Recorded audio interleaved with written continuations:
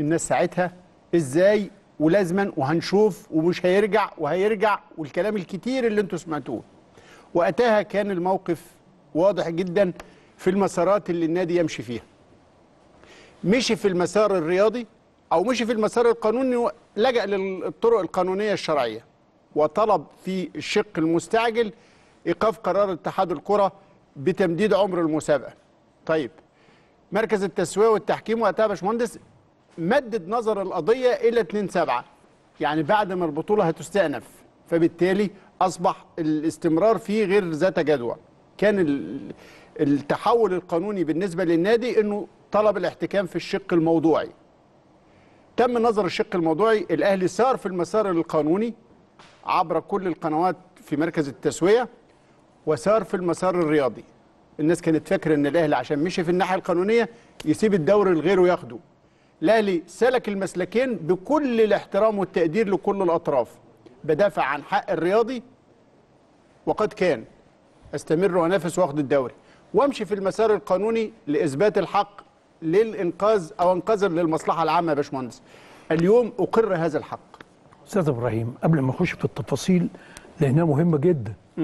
يعني كل كلمة في هذا الحكم كان يقابلها طلب من النادي الأهلي.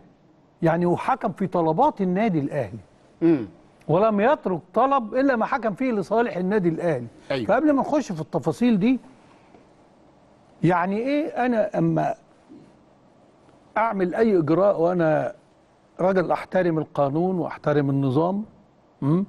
مش معناها إن أنا لما أقول مش هلعب إلا كذا أنا مش هلعب إلا في إطار النظام لكن مش معنى كده إن أنا حاسب لك الجمل بمحمد. آه. فأنا بقول إيه؟ زي ما كنت بالظبط كده أنت داخل نازل ملعب وشاف كل شروط إقامة المباراة غير قانونية. أنت شايفها كلها كده. بس أوضاع كتير بتحتم عليك إنك لازم تلعب وإلا الدنيا ممكن تولع وتبقى كارثة. فبتروح تتحفظ على ال score sheet.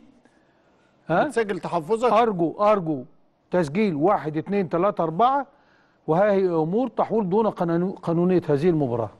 والعبها. يوم ربنا كرمك بالحسنيين تروح كسبانها وتكسب وتكسبها قانونية. تكسب القضية وتكسب المباراة. واخد بالك؟ آه. وفي كل شيء في الحياة وخصوصا في مصر هنا في في كرة القدم تحديدا مم. أنا كنت بقول إن في ملعب وفي خارج الملعب. إحنا معنيين بالملعب. خارج الملعب بنخش في لغط مع الآخرين. دي لعبتهم. انت يا عم بطل العالم في بره الملعب. انت بطل العالم انت نادي القرن بره الملعب. انت نادي المبادئ بره الملعب.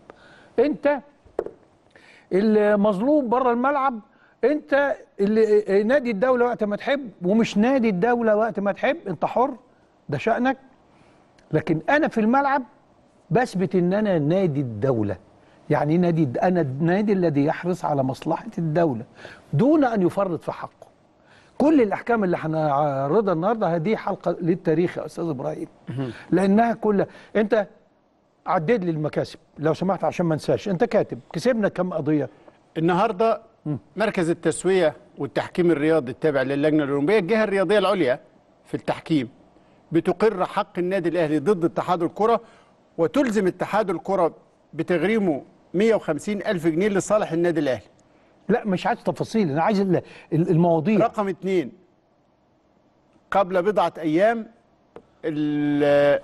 أيضا رفض الطعن المقدم من شركة مسك للإنتاج الإعلامي ضد الحكم النهائي الصادر للنادي الأهلي بأحقيته في كام؟ 140 134 مليون آه، آه، وشوية فكة كده. طيب. آه. أيضا بيتم حسم قضية اللاعب ال- الهارب من النادي الأهلي سليمان كوليبالي اللي انتقل للنجم الساحلي التونسي ويتم تسوية الأمر فيه مقابل مليون و400 ألف دولار للنادي الأهلي وقبلها بوقت غير قليل آه، صلاة والح- والتسوية اللي تمت بعد آه، آه، يعني تحكيم مش تحكيم لكن تم طلب التسوية وحكم أيضا للنادي الأهلي بإيه؟ بموق- بسلامة موقفه ده معناه إيه يا أستاذ إبراهيم؟ معناه إن يا جماعة لما بنقول لكم الأهلي بيتكلم هو مش بيتكلم عشان نتيجة مباراة لأنه بيكسبها في الملعب بعون الله ربنا هو اللي بيكرم. لأن لما بلاقيك عندك حق وبتنتصر للقيم برضه أنت ما أنتش عارف الخير فين. أنت عارف السنة اللي فاتت أنت طلبت فبتقول المحكمة اتأجلت لشهر سبعة بما يعني إن مش هتلحق آه، تحكم لك قبل بطولة الأمم الإفريقية. اللي انت كنت عايز تلعب وتنهي البطولة قبليه ربنا ما بيعملش حاجة غير الخير. فالتأجيل ده ضايق ناس كتير جدا. وكان لازمته إيه وما كان لازمته إيه وبتاع وهتلعب غصب ماشي. تقوم يتأجل ده عشان تحسم الأول في الملعب الجدارة. وبعدين ترجع تاني للحكم. هو أدبي. يعني هذا الحكم. على أرض الواقع ما بيديكش بطولة. هو بيديك حقوق تانية. البطولة أنت خدتها في ملعبك. لكن ده بيديك مجموعة من الأمور التانية. تعال نناقشها واحدة واحدة أستاذ إبراهيم. طيب كلام هذا الحكم بمنطوقه بدلالته الدلالة كمان مهمة فيه. هي نفس الدلالة اللي متعلقة بأزمة هذا الأسبوع. فيما يخص الأهلي واستكمال بطولة الدوري. إيه الشريط الرابط بين الاثنين هنقرأ الأول الحكم الصادر ونشوف النادي الأهلي موقفه الواضح موقفه ثابت موقفه حريص على المصلحة العامة كيف حدث ما حدث من قبل وكيف يحدث ما حدث هذا الأسبوع. أصدر مركز التسوية والتحكيم الرياضي المصري حكما بتغريم اتحاد الكرة 150 ألف جنيه لصالح النادي الأهلي في القضية التي رفعها الأخير بسبب امتناع اتحاد الكرة عن تحديد موعد للمباريات المتبقية من الدوري المصري لكرة القدم للموسم الكروي 2018-2019 قبل 30 6 2019 وعدم إنهاء المسابقة في ذلك التوقيت. أوضح الحكم الذي أصدره مركز التسوية اليوم الخميس أن مبلغ 150 ألف جنيه يأتي كتعويض للنادي الأهلي عن كافة الأضرار المادية والأدبية التي لحقت بالنادي الأهلي كما ألزم مركز التسوية اتحاد الكرة بالمصروفات وأتعاب التحكيم. 150 ألف جنيه ما هياش القضية. قيمة التعويض مش ده الموضوع. إنما في اللي قاله لك المهندس عدلي واللي له دلالات في موقف النادي.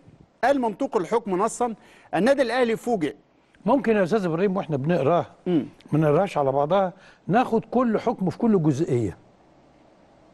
ونقشر عليه كده. جاء في منطق الحكم أن النادي الأهلي فوجئ بعد إرسال جدول المسابقة المشار إليه المتضمن مواعيد 16 أسبوع من المسابقة بسيل من المكاتبات من الاتحاد متضمنة تأجيلات لعدد كبير من المباريات. وكأن مواعيد البطولة الأفريقية والعربية وارتباطات المنتخب قد هبطت فجأة على الاتحاد ودون سبب واضح لتلك التأجيلات.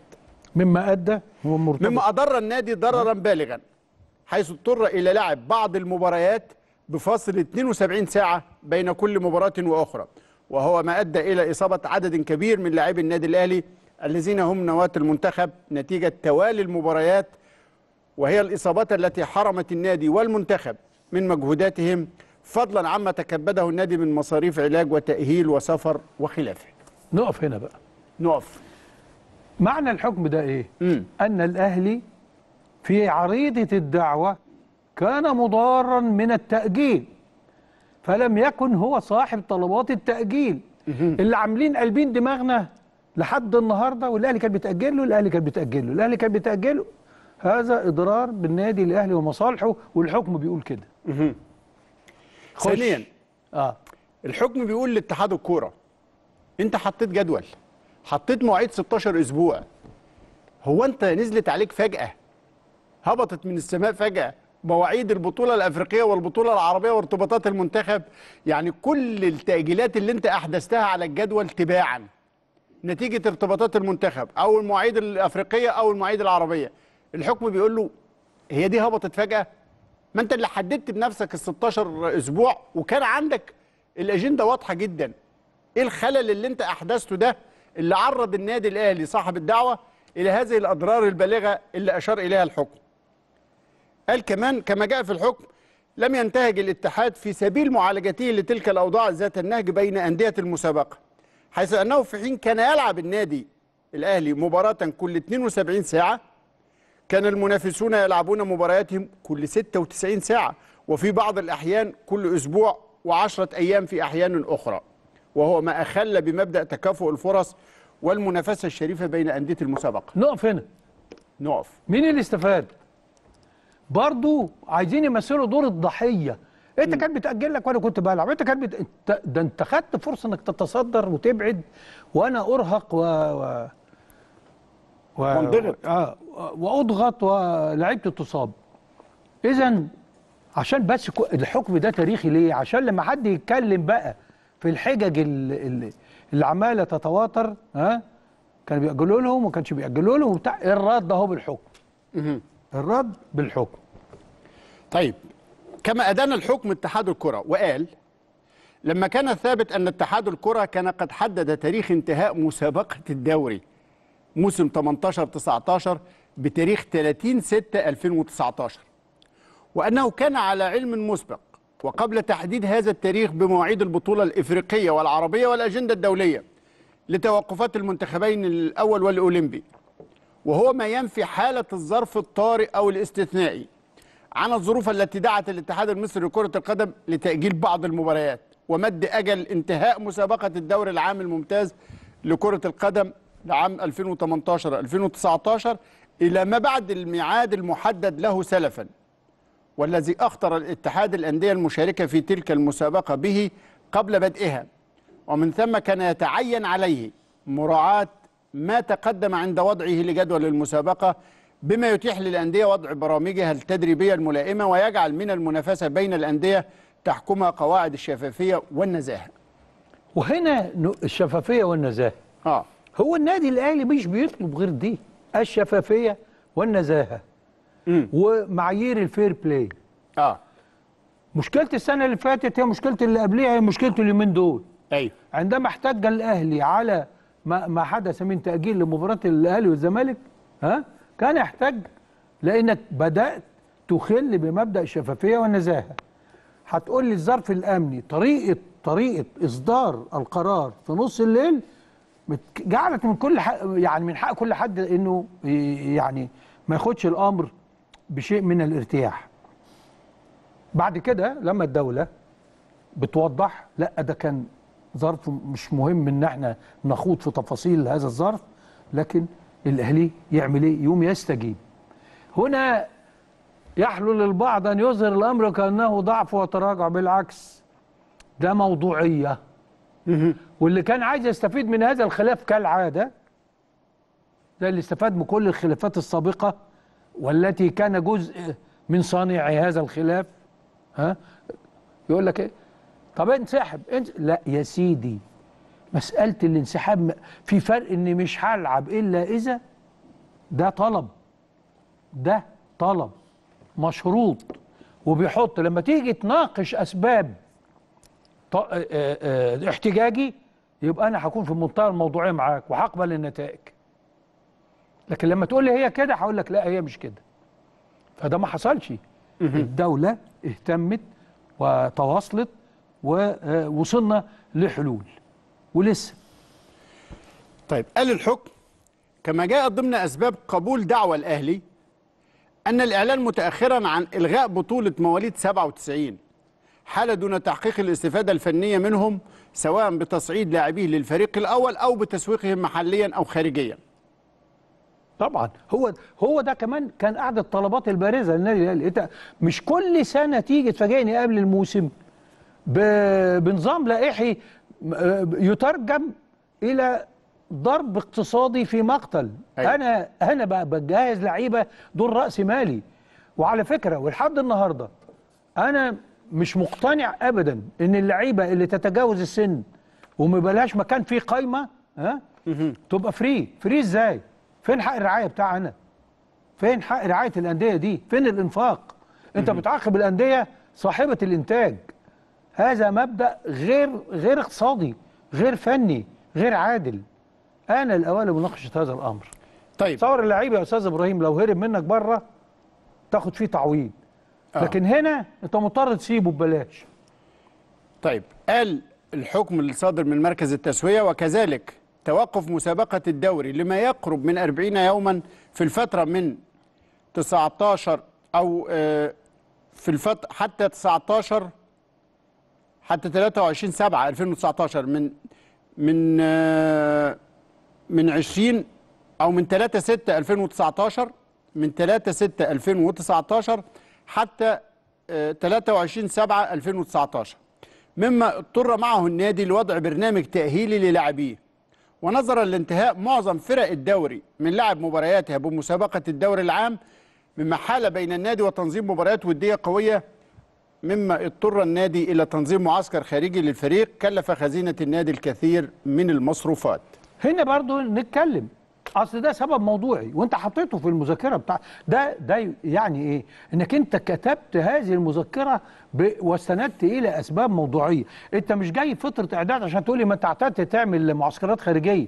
لا ده أنا اضطرتني هلعب بعد البطولة الإفريقية. فأنا لازم أحافظ على إني أكون في الملعب أنا ولاعيبتي طيب الأندية كلها ما عدا الأندية أصحاب أطراف المباريات. ودي مش منطقي إنك تعمل معاها ماتشات وديه مش هتروح عندك ماتش المقاولين أو الجونه هتروح تعمل ماتشات مع المقاولين والجونه فأنت ك- والزمالك وهو فأنت اضطريت إنك أنت فعلا تتكبد مصاريف استثنائية. كل هذا كانت أسباب موضوعية مش تلاكيك. طيب كده انتهى ال- ال- النص. آه. المتاح لأنه الحقيقة الحكم كبير والحكم فيه حاجات تفاصيل تانية كتيرة. لكن ما نود التأكيد عليه ثلاث أربع نقط. النقطة الأولانية الجمهور جمهور الأهلي والرأي العام الرياضي كله اللي تابع القضية مع نهاية السنة اللي فاتت أو الموسم الماضي. والكل كان مندهش هو الأهلي ليه رجع يلعب. كانوا فاهمين زي ما المهندس عادل أشار إن أنت خلاص هتسيب الدوري وتسيب الجمل يعني ده. والنبي ده ده. تصرف مسؤول. البعض حاول ياخدها في السكة دي. ولما ترجع تلعب لا ده أنت رجعت في كلامك. لا. أنا زي ما قلت لكم أنا أنت دفعت حقي وخدته أهو. أنت قدامك كل المسارات المتاحة بتمشي فيها. مشيت في المسار الرياضي طالبت اتحاد الكره خطبت اتحاد الكره رجيت اتحاد الكره حرصا على المصلحة العامة. وكان وقتها الأهلي أدى سهيلات عشان المسابقة تتلعب وتحسم أو الموسم ينفض قبل كأس الأمم عشان اللعيبة تاخد راحة والأندية تبدأ تستعد بشكل أفضل للموسم الجديد. حركة انتقالات اللاعبين تحافظ على حقوق الأندية في تسويق لاعبيها؟ كل المكاسب البدنية والفنية والتسويقية والمالية كلها. هو الحاجات دي لما تتنظم آه، هيقول لك آه، آه، يحق للأهلي ولا ولا حقوق؟ للمسابقة وكل الأطراف اللي فيها. فأنت مشيت في هذا المسار الرياضي لكن لما مركز التسويق حدد 2 7 لنظر ال- الطلب خلاص اتجه الأهلي للتركيز على الشق الموضوعي في الدعوة. والشق الموضوعي هو مدلل على كل الخسائر اللي لحقت بيه جراء هذا التطويل أو التمديد أو التسويف غير المبرر رياضيا وقانونيا. اذا التأكيد على إنه لما تلاقي للأهلي واخد موقف القضية مش إن هو رجع في كلامه لا. ده أكد على المسارات اللي ماشي فيها. بدون إزعاج وبدون دوشة وبدون مشاكل. وبدون تجاوز في حق ما حد. هو أنت كمان لو في سرعة الإجراءات بيتم البت فيها كان هيبان المعاني دي كلها في وقتها وكانت الأمور دي هت بالظبط. تتقفل لكن إحنا بصدد ما حدش بيناقش مناقشة ويجوز موضوعيه الحكم ده لو أنت خدته بدري آه. كان ينعكس على بعض القرارات في هذا الموسم. بالظبط. فأنت إحنا كل اللي نطلبه إيه؟ انتظام المسابقة معايير الشفافية وال fair play بالظبط ما الأسباب الأمنية تبقى أسباب أمنية كل الأطراف أصحاب الشأن كمسؤولين ماليش دعوة بالرأي العام كمسؤولين يعرفوا بيها ويتأكدوا منها ويحترموها. فقط. غير كده لا. هو أنت النهارده حتى على الصعيد لما أنت تكون متصور إن الوقت لمصلحتك وآخر يتصور الوقت ضده هو ده مش حقيقي لأن اللي بيحصل على أرض الواقع غير كده. آه لأنه انت شفت المسابقة اتأجلت ليه آه ف- يعني هو. هو آه طبعا ده, آه. ده لا في اعتراف ان كانت صريح. متاجله لحد ما لاعب معين يرجع آه حتى يعني كان في لوم له هو إحنا نأجل المسابقة عشانك وانت ت... هو ده المردود آه. يعني فما هو طب مين اللي ساعد بقى على ده. انت حر انت انت على فكرة شطارة من حقك انك انت تعمل كده بس عند- الطرف اللي بينظم هو اللي بس بيستجيب المنظم يستجيب لك ليه آه إلا إذا كان برضه هو عواطفه ان إن ده يحصل. آه. هو دي المشكلة. الانتماء عندما يصل إلى متخذ القرار يبقى القرار دايما في عيوب تخليك تلجأ في إطار قانون تاخد حقوقك ومش عايزين نلجأ للكلام ده كل يوم والتاني طيب الحكم كمان بيأسس لنهج جديد. النادي أي نادي مع الاتحاد أي اتحاد أنا مش متلقي سلبي. أنا مش عبد مأمور. أنا مش هكون ملزم فقط أنفذ كل اللي أنت هتقولي وأقول لك على الرحب والسعة. أؤمر أنفذ. سيادتك هتؤمر وأنا هاخد إجراء القانوني بشكل محترم. ممكن هنا عشان برضو سيادتك هتؤمر قبل المسا لا هتضع نظام قبل المسابقة. هو ده العقد اللي بيني وبينك. آه. هو ده العقد اللي بيحكم الأندية معاك. بالظبط. فأنا زي ما انت بتقول مش عبد المأمور انت بتدير لصالح الأندية وبالنيابة عنها. انت تدير لصالح الأندية وبالنيابة عنها. فتيجي تلاقي انت إحنا القانون آه، رقم 71 لسنة 2017 شرع وأسس لمركز التسوية. كنت بتروح محكمة القضاء الإداري وحلني. يخلص كام موسم؟ علشان يتم البت في الدعوة وفقا لإجراءات التقاضي وطول الأمد بتاعها. لا بقى في مركز تسوية يختص بالنزاعات الرياضية. فأن يفعل أنا بس عايز برضو الناس هذا المركز. يعني إيه مركز تسوية. آه. يعني أنت لما تشوف الهيئة في مركز التسوية التي حكمت وحققت وحكمت في هذا الأمر برئاسة السيد المستشار ده الحكم الصادر من مركز التسوية والتحكيم الرياضي المصري. وده موجود في القانون. أيوه. ده القانون الرياضة آه، آه، أكد على وجود هذا المركز. أيوه. برئاسة المستشار محمود رشيد محمد. محكما مرجحا. آه، ما هو بيبقى فيه بقى مركز أيوة. تسويه آه، اتنين أنت يمثلوا. تختار واحد وأنا بختار واحد. وحكم مرجح. مرجح. مم. فالمستشار مح- محمود رشيد محمد حكم مرجح وعضوية كل من السيد المستشار محمود أحمد علي أبو النجا محكم عن المحتكم. اللي هو النادي الاهلي اللي النادي الأهلي والسيد المستشار ضياء الدين محمد الناظر محكم عن المحتكم ضده اللي هو آه، اتحاد الكورة. الكورة. إذا كلهم هيئة قانونية من كبار المستشارين.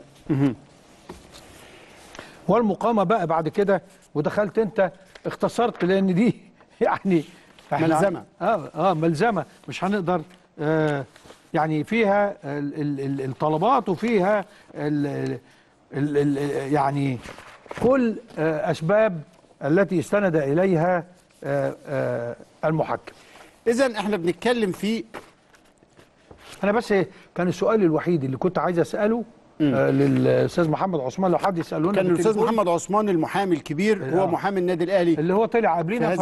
عشان كده ما جبناهوش على التليفون آه. بس حد من الإعداد يسأله لنا هي دي آخر درجة من درجات التقاضي ولا خلاص كده آه يجوز يجوز للنادي الاستئناف ضد الحكم بس هي الفكرة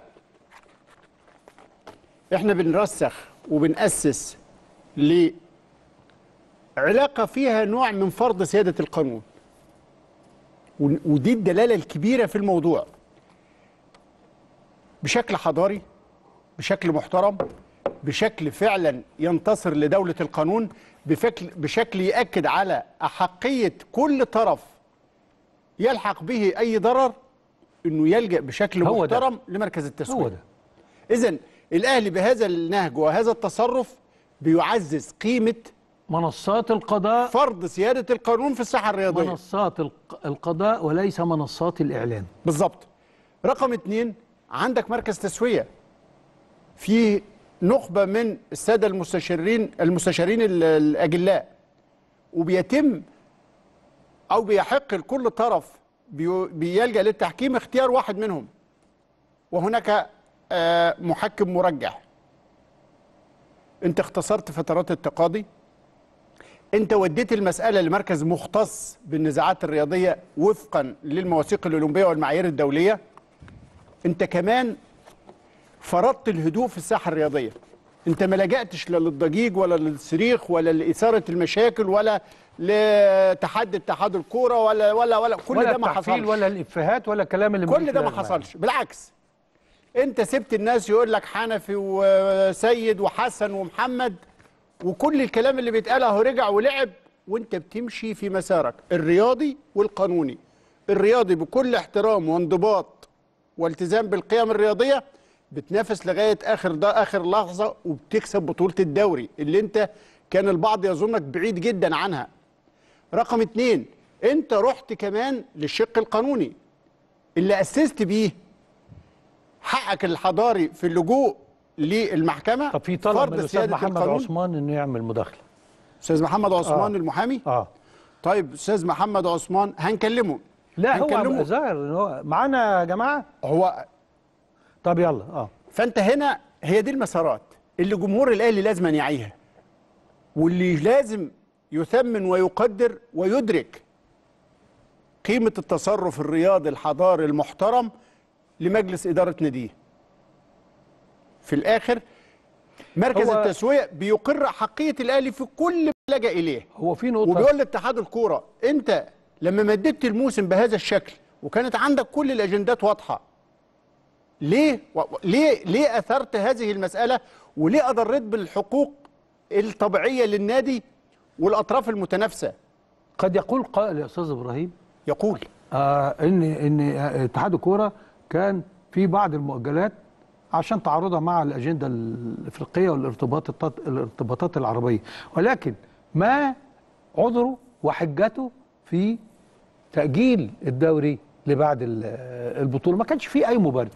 إحنا خلاص مش عايزين بقى مش واخدينها يعني برضو آه، إن إحنا كسبنا لا لا لا, لا. آه. ما هياش كده خالص. لازم الناس تفهم. يا جماعة من فضلكم أنا بس عايز تاني واكد يا أستاذ إبراهيم معلش. لأن كفانا تحفيل على بعض. إحنا كده بنطمئن على النادي الأهلي. بنطمئن على قدرة ال- اللي هي أصلا مش محل آه، شك ولا يعني اختبارات. قدرة آه، إدارة النادي الأهلي على إدارة أزماته وقضاياه. عموما معنا على الهاتف. دون دون تحفيل ولا تهويل ولا تهليل. معنا على الهاتف المحامي الكبير الأستاذ محمد عثمان. محامي النادي الأهلي في هذه القضية. أستاذ محمد أهلا بيك. مساء الخير يا أستاذ إبراهيم. على حضرتك والباشمهندس عدلي وعلى كل مشاهدينكم الكرام. آه، مبروك هذا الحكم للقانون وللساحة الرياضية اللي بيأسس وبيعزز حاجات كتيرة في الاتجاه الصحيح. آه بالطبع. آه، حكم آه، إضافة ويعد آه، انتصار واضح لكل اللي قاله النادي الأهلي وكل مطالباته ومناشداته. والحكم أيضا آه، أوضح أن هناك آه، خطأ والخطأ وهذا الخطأ يستوجب الضرر بعيدا طبعا عن القيمة آه، المادية لكن في النهاية الحكم أرسى مبدأ وأكد على صحة وسلامة موقف النادي الأهلي في كل ما طالب به. وردا على استيضاح الباشمهندس عدلي عما إذا كان الحكم ده نهائي ولا يجوز استئنافه لا هذه الأحكام يجوز استئنافها لأطرافها أي النادي الأهلي أو اتحاد الكره خلال 40 يوم. واللجنة القانونية ستبحث آه، ما إذا كانت ستطعن الحكم بالاستئناف من عدمه خلال آه، الساعات القليله القادمة إن شاء الله. طب إيه الجهة المختصة بنظر الاستئناف؟ يعني ده مركز التسوية. إيه الجهة المختصة بنظر الاستئناف؟ أيضا آه، بموجب آه، لائحة مركز التسوية والتحكيم الرياضه المصري هناك هيئة استئنافية تنعقد أيضا دي في دي مركز دي, التسوية دي اللي درجة شكلت. مؤخرا مش كده؟ نعم. دي اللي شكلت مؤخرا من قبل اللجنة الأولمبية. آه لا دي بينظمها لائحة واللائحة دي معتمدة ومنشورة في الجريدة الرسمية زي قانون أو دستور مركز التسوية. لائحة مركز التسوية هي دستور هذا المركز وتبيح لأطراف الخصومة. آه، الطعن على هذه القرارات الصادرة من من هذه الهيئة أمام آه، لجنة أعلى أو هيئة استئنافية بذات المركز أيضا. وده وده بيبقى حكمها اللجنة الاستئنافية دي هو آخر درجة ولا في بعد آه، كده الحكم الاستئنافي هو الحكم النهائي والواجب النفاذ. وما يروحش بقى بيه لأي جهة دولية حتى. لا الحكم آه، بيتم إيداعه ويزيل بالصيغة التنفيذية عقب صدوره من الهيئة الاستئنافية ويتم تنفيذه فورا. طيب أنتوا بتدرسوا كنادي أهلي اوجه الاستئناف؟ ودي غالبا هتبقى في النواحي المالية يعني.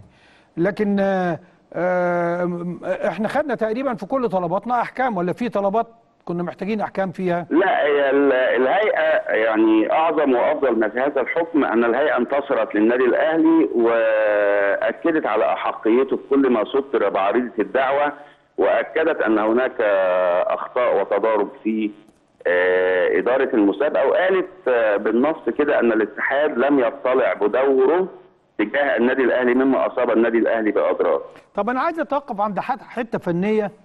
سيبك بقى من الأحكام التانية. آه، الجزء الخاص بإلغاء المسابقات زي مسابقة 97 مما ألحق الضرر ها؟ آه، وإنه ما قدرش يسوق لعيبته ما قدرش يستفيد منهم بالشكل آه، الواجب. وهل ده ممكن يترتب عليه إلزام فني في العمل الفني للاتحادات بعد كده؟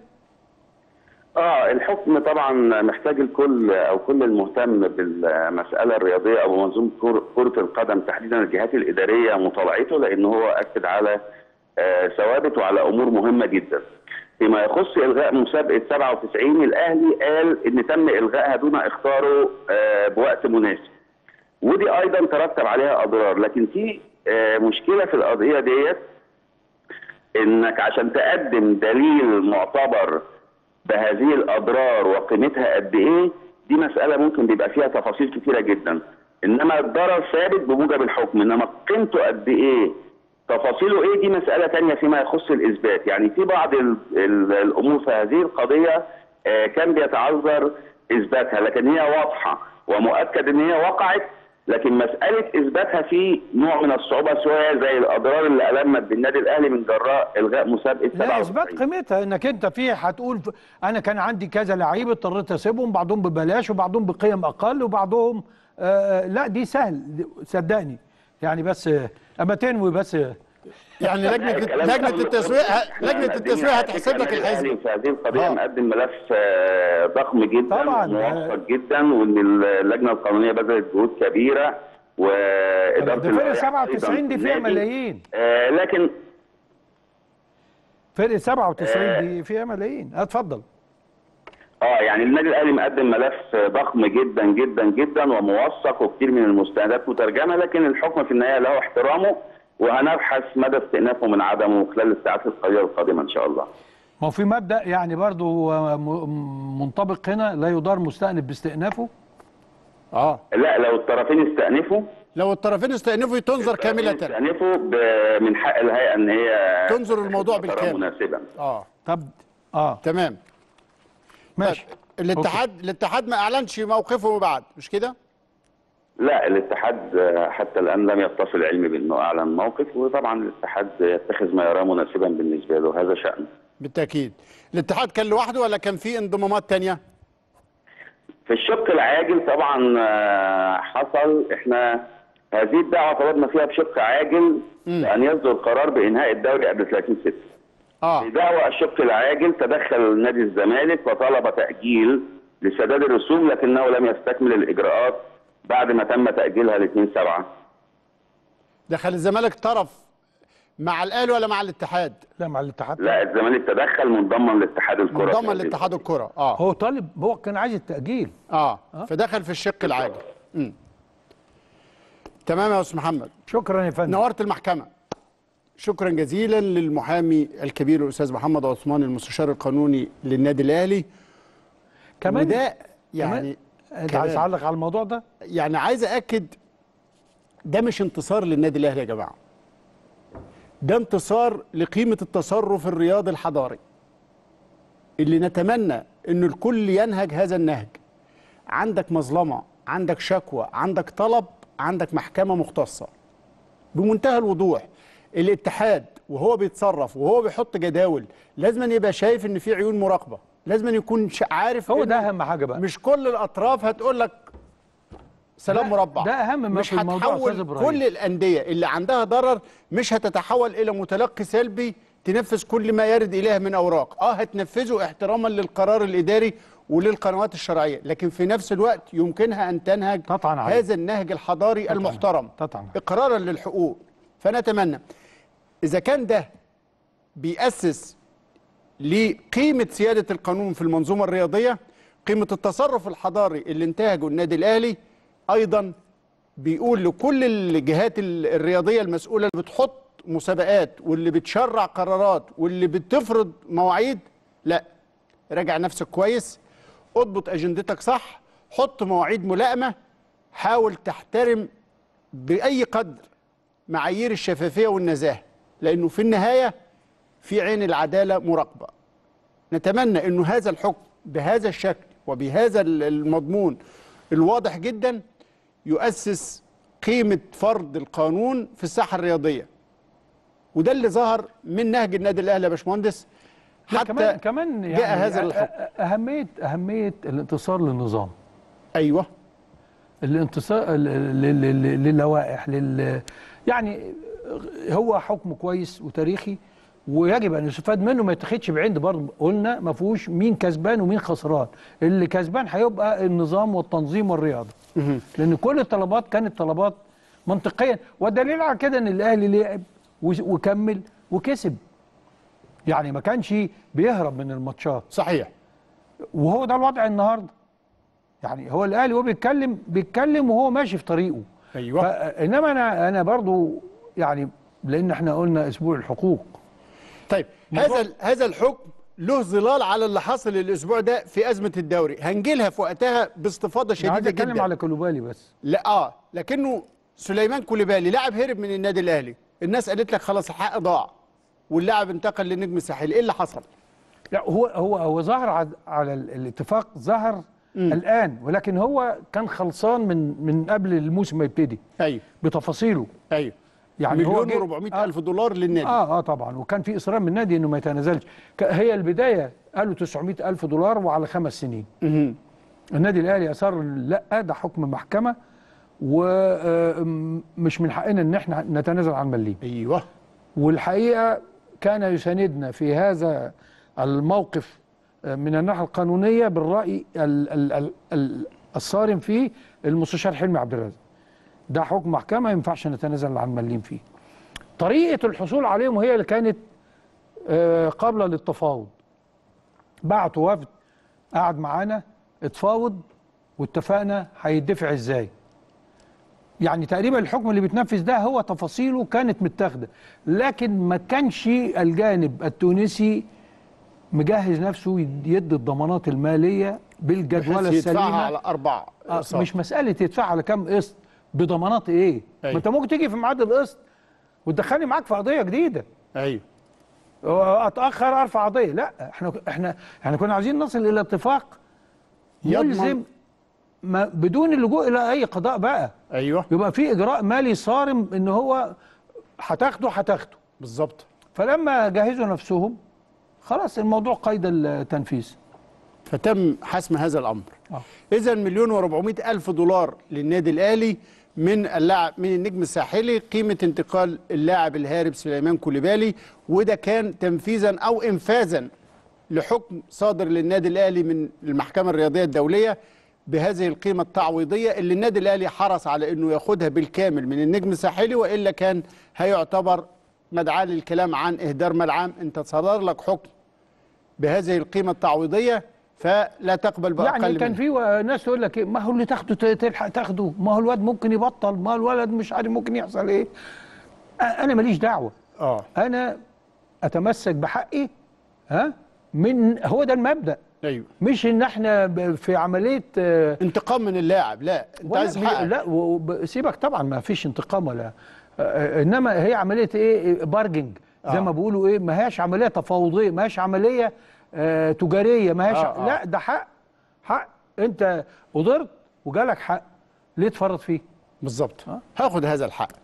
طيب أيضا كان من ال... ما أنا بقول لكم ما ضاع حق وراءه مطالب والأهلي لما بيطالب بحقه بيسلك كل الطرق القانونية في منتهى الهدوء والرصانة والاحترام لكل الأطراف حتى المتنازع ضدها أو حتى المتنازع معها. يعني الأهلي ما تجاوزش في حق اتحاد الكورة وهو بيلجأ ضده. وهو على مجلس الإدارة السابق على بالمناسبه فكرة برئاسة كل بالي ده ما هو. كان نزاع قانوني. الأهلي لجأ له والاهلي آه والأهلي حتى وهو بيتفاوض مع النجم الساحلي اللي ضم هذا اللاعب الهارب. بينهم كل الاحترام والتقدير. الشركات الراعية اللي كانت متعاقدة مع النادي الأهلي سواء شركة سبورتا للملابس الرياضية اللي النادي أخذ أحكام في آه، تنظيم حقوقه تجاهها أو شركة صلة أو كمان شركة مسك للإنتاج الإعلامي في خلافها الكبير مع النادي الأهلي بشأن قناة الأهلي. النادي كان صدر له حكم آه، هذا الأسبوع أزل الستار نهائيا على أزمة الأهلي مع شركة مسك للإنتاج الإعلامي بعد رفض المحكمة أو محكمة النقد ال- ال- ال- الذي تقدمت به الشركة في حكم سابق لصالح الأهلي. قال الأستاذ حلمي عبد الرازق المستشار القانوني للأهلي إن أزمة النادي مع مسك انتهت بحكم تغريم النادي بمبلغ آه، أو تغريم الشركة بمبلغ 135 مليون جنيه في عهد المجلس السابق. قال حلمي عبد الرازق الأهلي قام في بداية الأمر بإبطال الحكم الصادر لصالح مسك بتغريم النادي. كان في الأول حكم طالع بتغريم النادي 135 مليون جنيه خلال مجلس الإدارة السابق برئاسة المهندس محمود طاهر وما ترتب عليه بعد قيام الشركة بفسخ التعاقد مع الأهلي. وأضاف عبد الرازق بعد إبطال الحكم قامت شركة مسك بعمل نقد برقم 13155 لسنة 88 تحددت له جلسة يوم الخميس الماضي بتاريخ 10 أكتوبر 2019 لكن المحكمة رفضت النقد وبالتالي أسدل الستار على الأزمة ولن يتم تغريم الأهلي مليما واحدا. يعني مسك كانت واخدة حكم بتغريم الأهلي 135 مليون جنيه. تعرف الحكم ده؟ آه. الحكم ده كان فيه جزئين. جزء بسيط حكم لصالح النادي الأهلي بمبلغ بسيط حاجة و30 حاجة و20 مليون جنيه. فده أنت اتحكم لك فيه. أيوه. الطعن كان على الغرامة اللي عليك أنت بقى. أيوه. وكسبتها. أيوه. أول درجة. أيوه. طيب كسبتها تاني درجة. أيوه. هو قيمة الحكم ده من الناحيه الأدبية طبعا رائع أيوه. من الناحيه المادية وفر عليك مبلغ هائل. أيوه. لكن هو له زاوية تانية. أنت مسك كانت راحت حجزت على مستحقات الأهلي في رمضان صبحي. أيوه. مبلغ كبير جدا. وعلى أرصدة النادي. لا لا ده بره. سيبك أيوه. أرصدة النادي هنا ده خلص. أيوه. أنا بتكلم كان ليك فلوس عند النادي اللي خد رمضان. أمال إيه؟ آه. هم أول ما دفع راحوا حاجزين على الحو... على القيمة. أول ما خدوا الحكم هم قالوا لهم في تقاضي والحكم أهو و- أول قسط جه راحوا حاجزين عليه. مش جه. هم ما ما ما, ما دفعش اتحركش. أستاذ إبراهيم. ما اتحركش. ما اتحركش. آه. أمال هو حاجز عليه إزاي؟ آه. فأنت ليك دلوقتي مبلغ كبير قوي يعني بإذن الله راكد. هتاخده. آه. الفترة الجاية دي من تمام، تمام. من من نادي الحكم ده سلك المسألة. ستوك سيتي. آه. آه, آه, آه. مش ستوك؟ آه. آه. اللي هو خد رمضان. أيوه لأن هو خد رمضان وباعه ولقوا عليه فلوس. أيوه فأنت الفلوس دي دلوقتي من حقك إنك أنت تطلبها وتاخدها على طول. لأن دي فلوس المفروض إنها متجنبة. صحيح. آه، أكمل آه، الأستاذ حلمي عبد الرازق القصة تعود إلى صدور حكم تحكيم لصالح مسك السعودية في الدعوة رقم 1004 لسنة 2014 صدر من مركز القاهرة الإقليمي للتحكيم التجاري الدولي ضد كل من شركه الأهلي للإنتاج الاعلامي والنادي الأهلي للرياضة البدنية.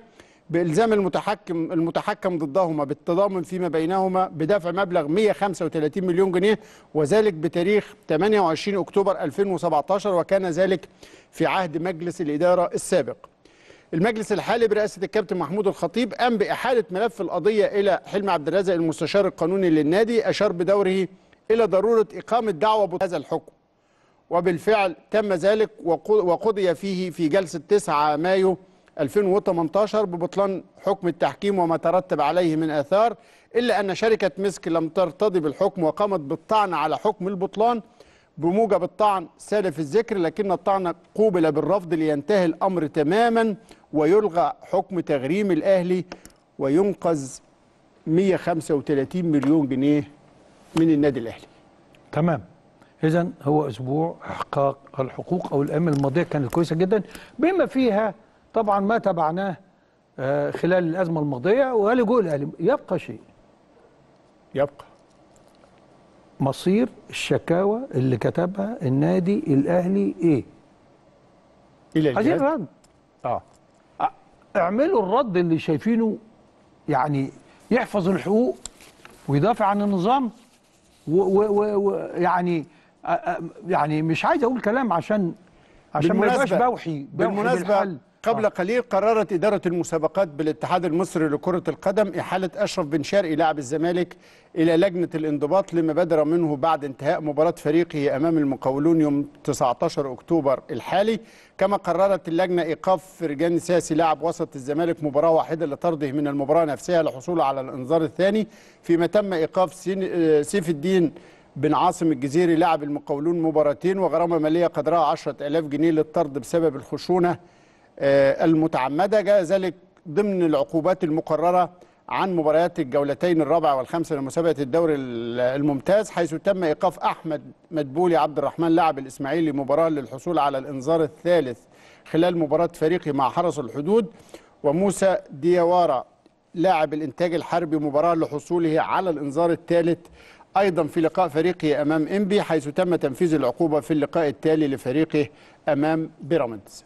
هو ما خدش ثلاث انذارات في الماتش وخد آه. انذار كان عنده انذارين. قبل كده اللي. بياخد ثلاث انذارات في ثلاث مباريات أو في مباراتين آه لا في ثلاث مباريات بي آه بيتوقف إذا أزمة الدوري وما حدث فيها خلال هذا الأسبوع من جلسات واجتماعات وجلسات ودية رسمية رفيعة المستوى امتدت عدة ساعات صدرت بعدها قرارات وبيانات وفيها مواقف كتيرة جدا. جزء منها يأتي تحت مظلة ما صدر من حكم المهم من مركز التسوية اليوم لأنه في النهاية الرابط واحد والموقف واحد والهدف واحد. بعد الفاصل.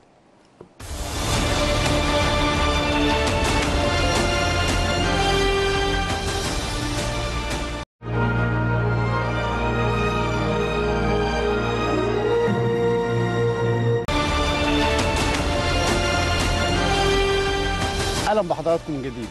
زي ما قلت لكم قبل الفاصل هو يعني أو هي أيام إقرار الحق زي ما المهندس عادل استهل الحلقة بيها لكن كان في تفاصيل في موضوع كوليبالي.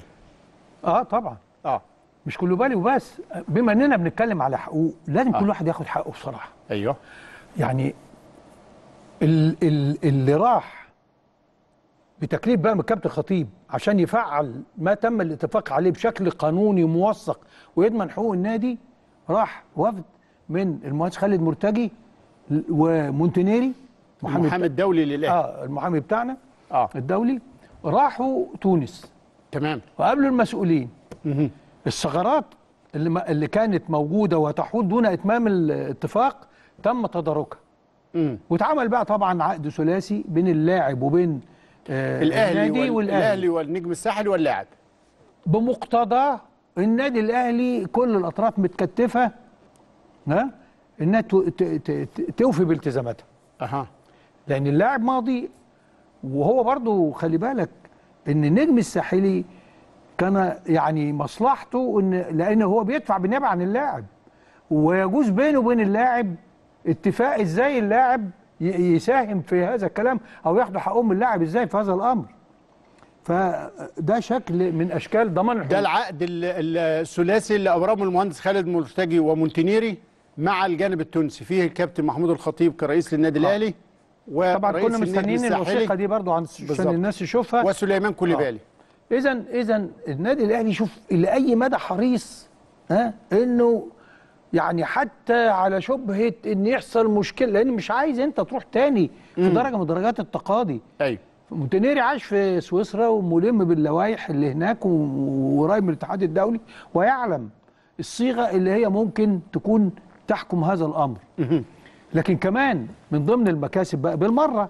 أيوه. مش إحنا أسبوع المكاسب. أيوه. كان هناك مبلغ آه، حول بطريق الخطأ ده مع المجلس السابق. من المجلس من السابق. النادي الاهلي للصفاقس التونسي. للصفاقس التونسي 125 في ألف صفقة دولار. جونيور اجيه خلص الموضوع ده كمان. آه. ال ال الوفد ده مرتجي مونتينيري. مرتجي مونتينيري انتهز آه. الفرصة وراح خلص المبلغ سيسترد النادي الأهلي. اذا هي ديت جهود أبناء الأهلي وقياداته في كل الاتجاهات. إقرار الحق وهو وهو هنا ما فيش اعتداء الحقوق. عشان برضو واحد يجي يقول لك طب ما ده عضو مجلس إدارة. هو عضو مجلس إدارة مكلف. المكلف بال- بإيه؟ بهذا الملف. لا مش بالملف ده. بالاتصالات الخارجية. بالاتصالات الدولية. آه. هذا نوع من العمل تقدر تسميه الدبلوماسي القانوني. بس. فاستعاد الأهلي بعد كده هذه الحقوق سواء في صفقة آه، جونيور اجاييه الحقوق اللي كانت راحت بالخطأ للصفاقسي أو حسم موضوع كوليبالي بشكل تام من خلال وجود المهندس خالد مرتجي والمحامي الدولي للأهلي مونتينيري. أزلت هذه ال- أو أزل الستار على هذه الحقوق لكنه خلينا في الشأن الكروي الأول قبل ما ندخل في التقيل. محمد محمود إيه البخت ده؟ يا أخي حاجة تقطع القلب. إيه البخت ده؟ الولد ده له و- و- ودخل قلوب الناس كلها. أيوة. مفيش بيت اتفرج على الولد ده وهو بيتكلم إلا ما حبه بقى نجم من قبل ما يلعب. أنا أول مرة أشوفها. مم. ومش نجم إن هو ده ده الإصابة الأولانية. الأولى. وهتيجي لقطة وهو بيقول للولد حرام عليك. حرام آه. عليك حرام عليك. لأن سحبة الرجل. اهي. آه. حرام عليك. فإنما شوف خدت شقة على فكرة بس أنا عشان أطمن الناس وأطمن محمد نفسه. آه ناصر ماهر فات بالموضوع ده. رباطين وهو طالع برضه. وهشام حنفي لو تفتكر. بس قول أيام هشام آه الدنيا ما كانتش عارفة الإصابة دي قوي مم. إنما آه ناصر طلع مع جاريدو كان عنده 17 سنة. آه. أصيب وإلا كان زمانه من زمان يعني هو معلم. كويس آه. معلم عند الناس يعني. أيوة. فهو ماشي بإذن الله يعني يرجع لنا بالسلامة لأن شخصية الولد ده رائعة ويستحق إن الناس كلها تحبه. مم. دي لقطات يمكن في تدريبات امبارح قبل الإصابة على طول. يعني حتى كان مقدم على التدريبات آه. بحماس شديد بس لأن المدرب كان مسترعي انتباهه كان كابتن شوقي. غريب في المنتخب الاولمبي كان مأجل إعلان القائمة النهائية لحين الاطمئنان على حالة محمد محمود علشان يدعم بيه قائمة المنتخب الاولمبي في التصفيات الأفريقية. آه، في كل التدريبات اللي فاتت كان فايق قوي حماسي جدا آه، متلهف حتى كان بيقول لزمايله أنا يعني عطشان كورة قوي طبعا أنا جعان كورة بشكل عايز قد كتير. ربنا يصبره ويعوضنا عليه خير. يعني يعني يعوضنا ربنا فيه. إن شاء الله. فيه مش عليه. يعوضنا فيه هو خير في شوف هو القادم. يعني ده قدر والإصابة قدر زي أي حاجة بتصيب الإنسان. مؤكد إنه هو هيحظى بدعم ومساندة كل زمايله وكل الناس اللي بتحبه. جمهور الأهلي الحقيقة واقف معاه جدا وحاسس بيه قوي. لازم يؤمن إن هو دي بتاعت ربنا وإن شاء الله هيرجع قوية وهيتحمل هيرجع آه هيتأخر شوية لكنه لعله خير وإن شاء الله يرجع ويكون في أحسن حالة بإذن الله وأكيد الأهلي على وجه السرعة مش هيتأخر في آه سرعة سفره بإذن الله لألمانيا وإجراء الجراحه. ألف ألف سلامة على محمد محمود اللي بقى أيقونة عند جماهير الأهلي الحقيقة. لا طبعا ده كل الناس ده حتى يعني في تغريدة لتركي آل الشيخ بيقول له يعني الناس كلها تعاطفت معاه. أي حتة في العالم عالجك لكن طبعا النادي الأهلي هيتكفل بكل شيء وقادر عليه لكن أنا بتكلم إن الناس تتعاطف كل واحد شاف الولد ده حبه. اشمعنى أيوة. ده يعني؟ أيوه ها؟ طيب كابتن سيد عبد الحفيظ كمان مدير الكورة بيأكد إنه الأهلي بيحط خطة إعداد للفريق خلال فترة التوقف الحالية. قال إنه الجزء الأول في هذه المسألة هيكون معسكر خارجي لمدة أسبوع هيتخلله خوض مباراة أو مباراتين على أقصى تقدير. الأهلي عنده بعض العروض للمعسكر الخارجي. خليجيا هيتم بحثها والاستقرار على أحد هذه العروض. آه الإمارات وفي في الكويت وسلطنة عمان. في أي من الدول العربية الشقيقة الثلاثة هيحل الأهلي ضيفا في معسكر لمدة أسبوع.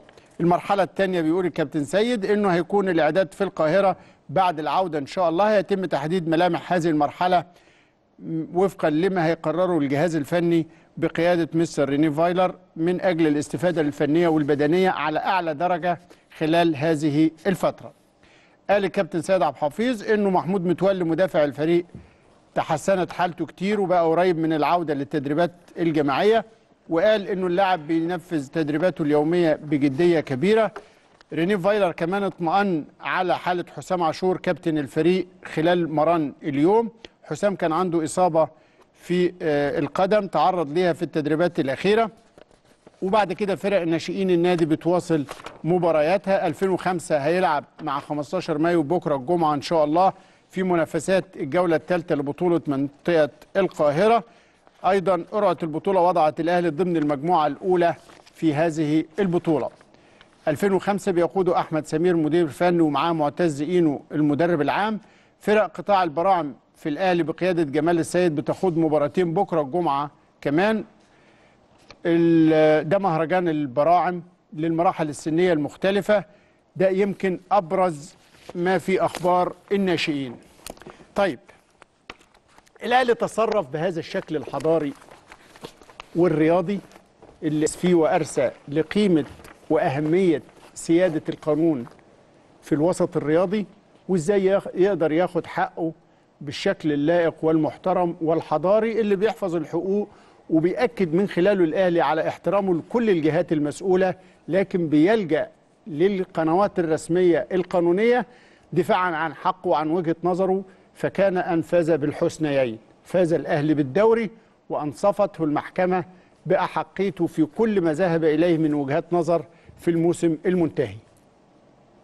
ظلال هذا ال ال أو هذه القضية بما صدر في نهايتها من أحكام تكاد تكون هي المفسر المباشر للي حصل في أزمة الدوري هذه الأيام الدوري الجديد وإزاي الأهلي أخذ موقف وإزاي اعترض على بعض النقاط الواضحة جدا وكان أن عقد الاجتماع المهم جدا اللي كان في منزل الكابتن محمود الخطيب آه، هنا في 6 أكتوبر حضر السيد وزير الشباب والرياضة الدكتور أشرف صبحي كان موجود الساده أعضاء مجلس إدارة النادي الأهلي في منزل الكابتن محمود الخطيب ثم انضمت بعض القيادات ال- الأمنية رفيعة المستوى وذات القيمة الكبيرة الحقيقة انضمت للاجتماع حوالي الساعة 6 استمر الاجتماع بين كل هذه القامات الكبيرة سواء رئيس وأعضاء مجلس إدارة النادي الأهلي مرحبين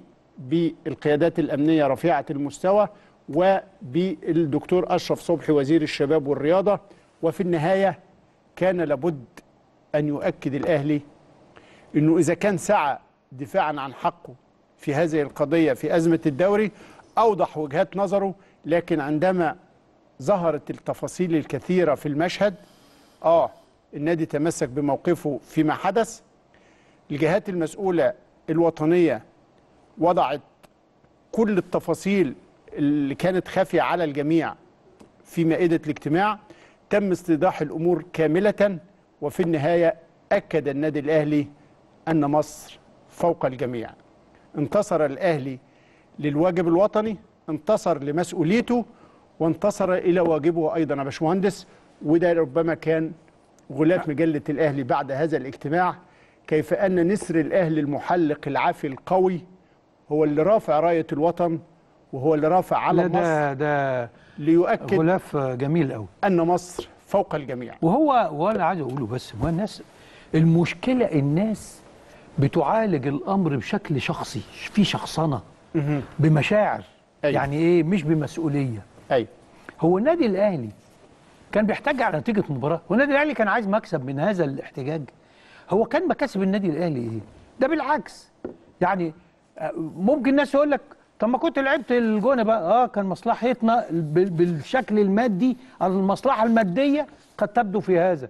لكن المصلحة الأدبية والتنظيمية واللي بتحط نقط على حروف كانت لا تمسك بإنك أنت تعالى بقى نقف نعمل وقفة ونبتدي من أول السطر. عشان اللي جاي يتنظم وهو ما حدث. مش إنك أنت عمال بتتكلم في مكاسب ضيقة في مباراة تاجلها عشان انت عندك لعيب موقوف أو ده مصاب ولا في مباراة عايز تلعبها دلوقتي أهو عشان أنت فايق وشاف ال- المنافس مش فايق. ابدا ابدا. إيه الموضوع يا جماعة؟ إحنا بنقول وآخرتها حتى لو مصلحتي إن أنا أجل أو ألعب مش بتكلم في. مش براجماتي يعني مش موقف براجماتي مش موقف- بدافع عن مصلحة شخصية. آه مش موقف بنشوف آه، اللي يكسبوا يلعبوا إحنا بنقول يا جماعة وآخرتها أنتوا قلتوا عايزين ننظم وإحنا فرحنا وعايزين ننظم معاكم. وبنساعد بالضغط اللي عمله النادي الأهلي إنه ينظم معاهم. عايزين بقى نتوقف عند هذا الحد كفاية تحفيل على بعض وكفاية إن إحنا نقعد آه، مين كسب ومين خسر بره الملعب لأن دي معركة الحقيقة غير لائقة. ونكرس كل المنافسة داخل المستطيل الأخضر. بس يا رب كل العناصر تساعد على إن المستطيل ده كمان ما يشهدش حاجات بره الملعب. ده مهم جدا. طيب بعد ما انتصر الأهلي للمصلحة الوطنية العليا بعد أن اتضحت الرؤية بعد أن غلب الجميع مصلحة الوطن في هذا الظرف فوق كل اعتبار بما يحفظ حقوق الأهلي أول هذه الأطراف الوطنية لأنه حقه إنه يحافظ لبلده على قيمتها واستقرارها وأمنها. حقه في إنه فعلا يسود الساحة الرياضية هذا الهدوء وهذا الاحترام وهذا التقدير. حقه إنه يطالب بفرض سيادة القانون على كل أطراف المنظومة. حقه إنه يسأل ماذا عن ما حدث أو ماذا حدث فيما تقدمت به من شكاوي وما ومن زلنا مذكرات. يعني. بشك بشكل حضاري جدا وشكل رياضي وشكل قانوني وشكل يدافع عن قيمة مصر. لأنه الدفاع عن قيمة هذا الوطن والوطنية هي بالموقف بالمسؤولية ليس بالادعاء أو بالكلام. بص أنا هرجع تاني. خلاص دي مسألة بقت واضحة جدا. أنا عايز أرجع تاني للعنوان بتاع المجلة. أي. لأن الحقيقة مش هتديني أي مكافأة ولا أي هدية ولا لا ما هو. استنى ده أنا ولا تعزمني حتى. مكافئتك تبقى لك شهرين. مكافئتك أيوه. إن أنا هنصفك. آه. لأن أنت تعرضت للنقد من بعض الناس اللي ما قدرتش تستوعب مسؤولية الموقف. مم. وابتدت تزايد وكأنها هي واضعه هذا الشعار.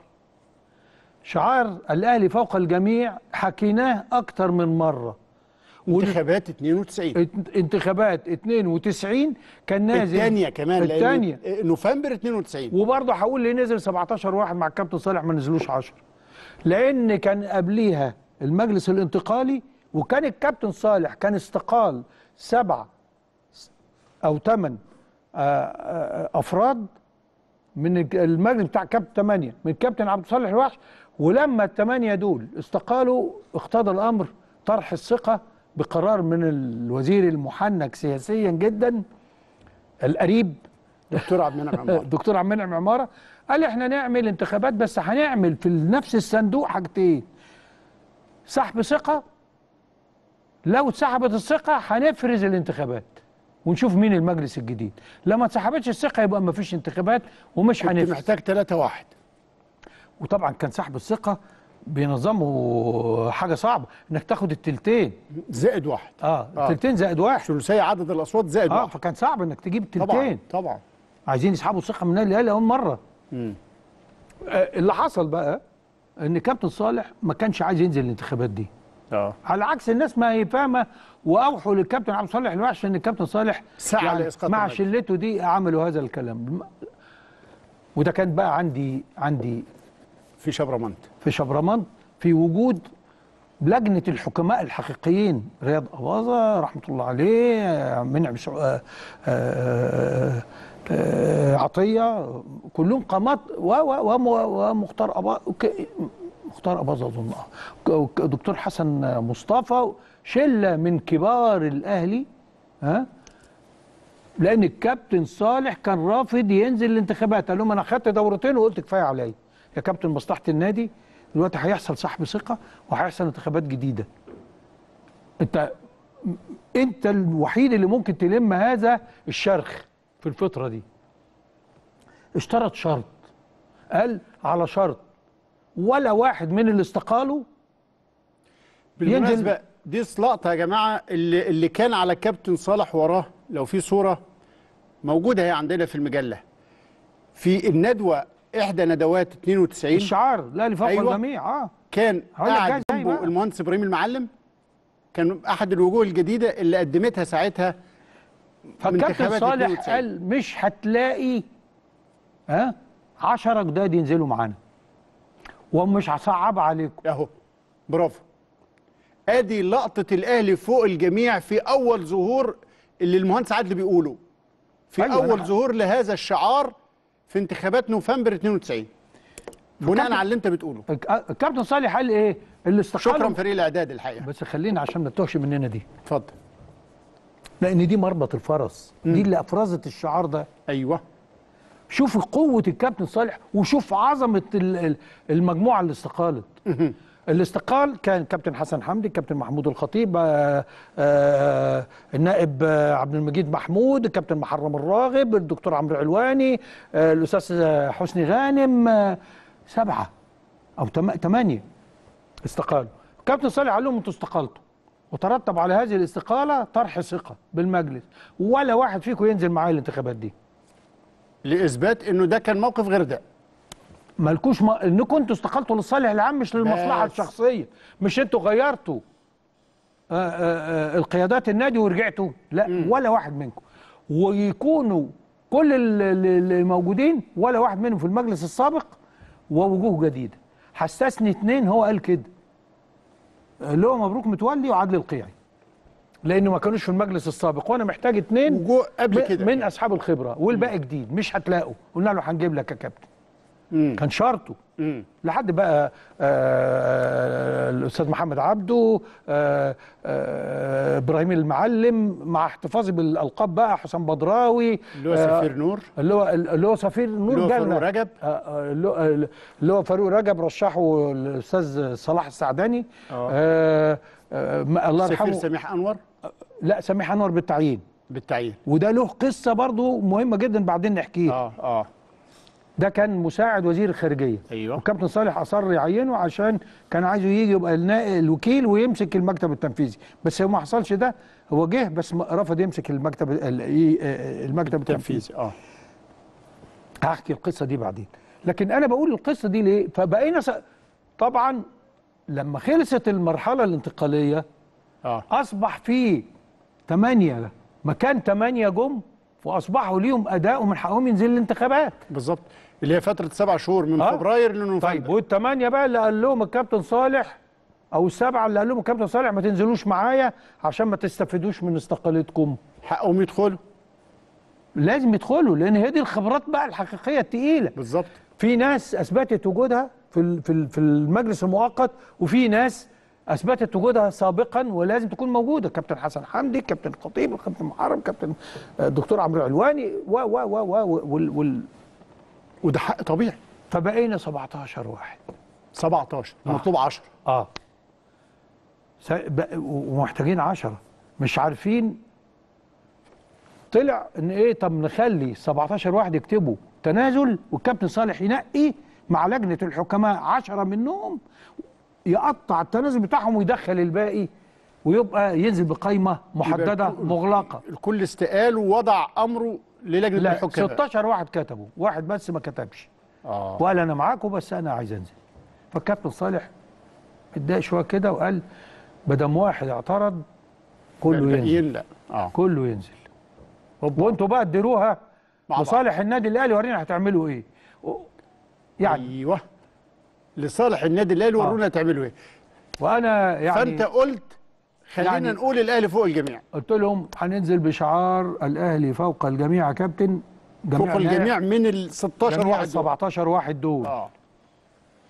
هنغلب مصلحة النادي الأهلي وال 17 واحد هيساعدوا بعض.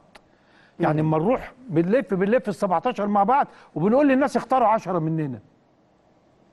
وأنا كنت المتحدث في هذه ال- العملية. فما كنا بنروح حتة يقول لك اشمعنى يعني الأهلي فوق الجميع إيه دي نشرح لهم في كل مكان؟ إحنا ال 17 ارتضينا بهذا الشعار وكتبناه على الليست وكتبناه على المطبوعات بتاعتنا وكل شيء مشي في هذا السياق. البعض حب ياخده بره هذا المضمون. فما زلت بقول داخل النادي الأهلي يا اخوانا الأهلي فوق الجميع. خارج النادي الأهلي مصر فوق الجميع. فاللي زايد عليك مم. واتكلم وقال لك انت كده بتح... بت... بت... بتتغول أو ب... بتعتدي على شعار ها؟ لا انت مش بتعتدي انت بتحط المعنى الحقيقي في هذا الأمر. طيب. دي هديتي ليك يا إبراهيم. طيب. هو بس علشان أنا يعني المهندس عادل لما بيتكلم في حاجة بيتكلم بشكل توثيقي لكل الأجيال. ولما حكى واقعه إنه هكذا ظهر شعار الأهلي فوق الجميع وقصته إيه؟ قصته إنه في 16 واحد مرشح أو 17 17 واحد مرشح والكابتن صالح قال لهم خلاص. فكان إن المهندس عادل وكان فيلسوف هذه المرحلة بالمناسبة. يعني كلنا كان كنا كصحفيين بنتعامل. معاه إنه ده الفيلسوف الإعلامي للنادي الأهلي. أنا كنت مكلف بهذا أنا كنت المتحدث الرسمي كان المتحدث الرسمي اللي بيدير كل هذه الندوات. بل هو اللي ابتدع فكرة إقامة ندوات منظمة لكل السادة المرشحين في النادي. فنحت شعار خلاص يبقى الأهلي فوق الجميع. ظهر ال- الشعار ده في هذه الندوة في هذه الفترة انتخابات نوفمبر 92 اللي بتستمر من نوفمبر 92 لنوفمبر 96 أي حد عنده أي ورقة تقول إنه في شعار الأهلي فوق الجميع ظهر قبل 92 يقولوا لأنه فجأة في حتة التأريخ الناس نسبت هذا الشعار لعمر بك لطفي. والناس اخذته منهج إنه حتى الشباب في السوشيال ميديا لما تكلم حد وتقول له لا يقول لك لا الأهلي فوق الجميع. الأهلي آه، لجنة المسابقات قررت كذا لا مش هننفذ الأهلي فوق الجميع. لا غلط. اتاخدت. غلط. اتاخدت بمنطق الفتونة. واضر بما لا يليق بالنادي وهذا الأهلي. يضر بمصالح يضر بمصالح الأهلي. ويضر بمصالح الأهلي لأن شفتوا بتعند. النادي الأهلي. الحقيقي بيتصرف بشكل حضاري وقانوني إزاي؟ وده اللي إحنا لازم نوعي الناس بيه ولازم نصحح المفاهيم. أنا عجبني زميل محمد مصطفى مدير تحرير البرنامج لقيته حاطط على السوشيال ميديا صورة لجماهير الأهلي أعتقد 37 أو يعني سنة 37 أو 38 66 رفع شعار الأهلي يا مدرسة لعب وفن وهندسه أيوه. في نهائي كاس مصر الترسانة الأهلي والترسانة نهائي كاس مصر 66 اسامه يوسف سجل الهدف. اليافطة اللي محطوطة في المدرج ومنشورة في إحدى صحف دار التحرير. الأهلي يا مدرسة أو كتاب صادر عن دار محمد التحرير. لما بيفحت طيب هذا الكتاب. صادر 66 وفي المدرج الأهلي يا مدرسة لعب وفن وهندسة. لو جهز هت... لو جهز الصورة هتشوفوها. لكنه وكان يعني رد توثيقي يحترم عطاء كل الأجيال. يا جماعة لو في هذا الشعار ظهر لأي نادي آخر غير النادي الأهلي قبل سنة 66 يبقى مش بتاع النادي الأهلي. بدا أي حد عنده أي آه، قصاصة أي من أي ورقة أي شكل من أشكال النشر فيها إنه هذا الشعار الأهلي يا هندسة لا الاهلي يا مدرسة لعب وفن وهندسة مش بتاع الأهلي. سنة 66 في نهائي كأس مصر الأهلي والترسانة يبقى الأهلي مش بتاعه هذا الشعار. ظهر لحد بعد كده دي قضية تانية خالص مش هنتكلم فيها. لكن ده بمناسبة إنه الأهلي فوق الجميع ظهر في انتخابات نوفمبر 92 تنظيما لهذه الحالة الانتخابية. ألزمنا نفسنا بهذا لكن مش بنتعالى بيه على حد. السادة المرشحين ألزموا نفسهم بده. هنتنافس لصالح النادي الأهلي. هنسعى إن كل يكون في صالح النادي الأهلي. فلما يجي النادي الأهلي نفسه دلوقتي يستقبل رئيس النادي وزير الشباب والرياضة ممثلا للحكومة المصرية يستقبل قيادات أمنية رفيعة المستوى والقيمة ويجتمعوا بمجلس إدارة النادي الأهلي ويستمر الاجتماع 8 ساعات ويتم طرح كافة تفاصيل المشهد الرياضي ويتم التأكيد على نقاط كتيرة مهمة هنشوف نتيجتها دلوقتي. تكون النتيجة إنه النادي الأهلي هذا النادي الذي لم ينشأ إلا لأهداف وطنية نشأ في رحم الحركة الوطنية نشأ في أحضان جهود الأفزاز. أهو. ينتصر الأهلي لمصر. ده دي صورة الأهلي يا مدرسة لعب وفن وهندسة. مشجعوا الأهلي في مصر الجديدة. هم اللي جايين يحضروا ورافعين الأهلي يا مدرسة لعب وفن وهندسة. ده الصورة اللي وضعها الزميل محمد مصطفى النهارده شفتها في ال social نهائي ميديا. كاس مصر بتاع عبد الله يوسف. نهائي كاس مصر. أسامة يوسف. عبد الله آه. 66 أي حد عنده الشعار منسوبا لأي منافس محترم شقيق قبل 66 لو شفناها هنقول ده مش بتاع الأهلي أو ده مش صنع في الأهلي أو ده مش نحت بفعل جماهير النادي الأهلي. فلما النادي الأهلي في موقف هذا الأسبوع ينتصر للقيمة الوطنية وينتصر لمصلحة الوطن تبقى مصر هي اللي فوق الجميع. انت عارف عارف أستاذ أنا؟ يعني عطفا على اللي أنت قلته يا باشمهندس البعض بيلومني إن أنا سلبت الأهلي شعاره. لا. لا لا. ده أنت بتفسر ده وتوضح أخطر شيء على النادي الأهلي إن إحنا نسمح للأجيال خاصة الأجيال المحبة للأهلي من الشباب إنك الصغير تعالى. إنك تحط الأهلي في مصف الوطن. لا خالص. الأهلي لما قلنا الأهلي هو الابن الغالي لمصر الأغلى. لازما الأمور هو الأهلي يا جماعة نشأ هو الوطن من أجل هذا. الوطن. الأهلي نشأ لهذا من أجل هذا الوطن. فما تسيبوش أي أطراف تدفع بالنادي الأهلي في غير ما أنشئ من أجله. الأهلي ما حدش حرص ابدا على خدمة وطنه قد النادي الأهلي. فبالتالي عارف يا أستاذ إبراهيم بس أنا بس عارف الأسبوع اللي فات ده؟ عارف صورة المجلس الاداره ده؟ عارف القعدة اللي قعدوها في بيت الكابتن الخطيب؟ عارف ما تحمله الكابتن الخطيب ومجلسه من حنفي مش حنفي وهترجع في كلامك ويقعدوا لحد ما تصدر الأحكام دي؟ ده معناها إيه؟ إن هم فعلوا الاهلي فوق الجميع على نفسهم. أيوة. تحملوا كل هذا ال- النقد وكل هذا ال ال التجاوز التجاوز. في حقهم وكل هذه الاتهامات ها؟ عشان يصمتوا ويتحملوا عشان يوصلوا إنه ياخدوا حقوق النادي الأهلي بعد كده بالطرق المحترمة. حط تحت كلمة الطرق المحترمة 200 خط. زي ما النادي الأهلي تصرف في أزمة نهاية الدوري الموسم الماضي خد الدوري انصفته محكمة التحكيم الرياضي النهارده. تصرف في أزمة هذا الأسبوع.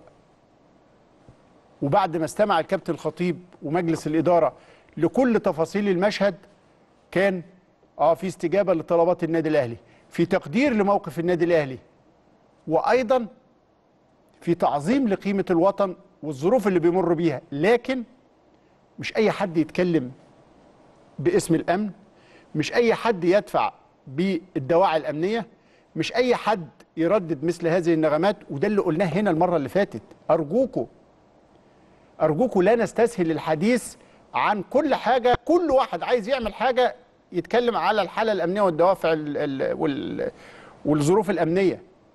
لا ده كلام يجي بشكل غير معلن خالص. جهات معينة مسؤولة تنسق ده مع بعضيها. هي ديت المسؤولية الوطنية.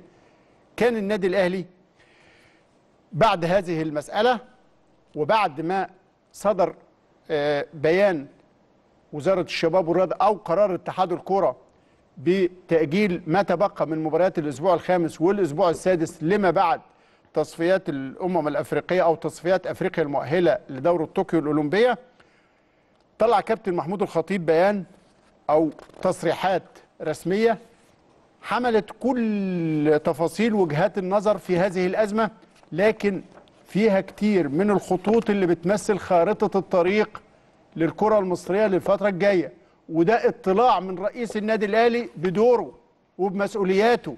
أنا مش بتكلم في زاوية صغيرة تخص تأجيل مباراة ده كلام صغير قوي. أنا بتكلم على تنظيم أوضاع كروية للصالح العام مش لصالح النادي الأهلي هو فقط. قبلها قبلها كان مطلوب يعرض وجهة نظره في تطوير الكرة في أفريقيا. بالظبط. هو هيقول إيه؟ هيقول النظام وهيقول الطريق يعني هيقول الكلام ده. فقال الموقع الرسمي للنادي عبر الكابتن محمود الخطيب رئيس النادي في تصريحات خاصة عن خالص شكره وتقديره. للدكتور أشرف صبحي وزير الشباب والرياضة وبعض القيادات الأمنية رفيعة المستوى لتشريفهم منزله. وبذل الكثير من الجهد والوقت لإيجاد حلول لتداعيات تأجيل مباراة القمة. وقال إنه ممتن لحضور واهتمام وزير الرياضة والقيادات الأمنية وحرصهم على المصلحة العامة. وتقديرهم للنادي الأهلي وتوضيح الصورة والكشف عن الكثير من الكواليس الخاصة دي النقطة المهمة والكشف عن الكثير من الكواليس الخاصة بتأجيل مباراة القمة بعيدا عن المغالطات التي ترددت في بعض وسائل الإعلام وأنه تفهم الموقف ومعه أعضاء المجلس الذين تواجدوا في الاجتماع المشار إليه ورحبوا كالعادة. كالعادة السادة أعضاء المجلس وكبار الضيوف رحبوا كالعادة بإعلاء مصلحة الوطن والتأكيد على احترام الرؤية الأمنية حسبما أشار الأهلي في بيانه قبل أيام. كما رحب مجلس الإدارة والكلام لا يزال على لسان الكابتن الخطيب بالاقتراح المطروح من قبل السيد وزير الشباب والرياضة في ضوء المناقشات التي جرت وتغيرت معها المعطيات الخاصة بقرار الأهلي السابق. والمدون في بيانه بعدم خوض أي مباراة في بطولة الدوري قبل إقامة لقاء القمة. وأضاف أنه كان هناك تقدير من جانب النادي الأهلي لمصلحة البلد أولا ولزوال الأسباب التي ترتب عليها موقف النادي وما جاء في بيانه الأخير.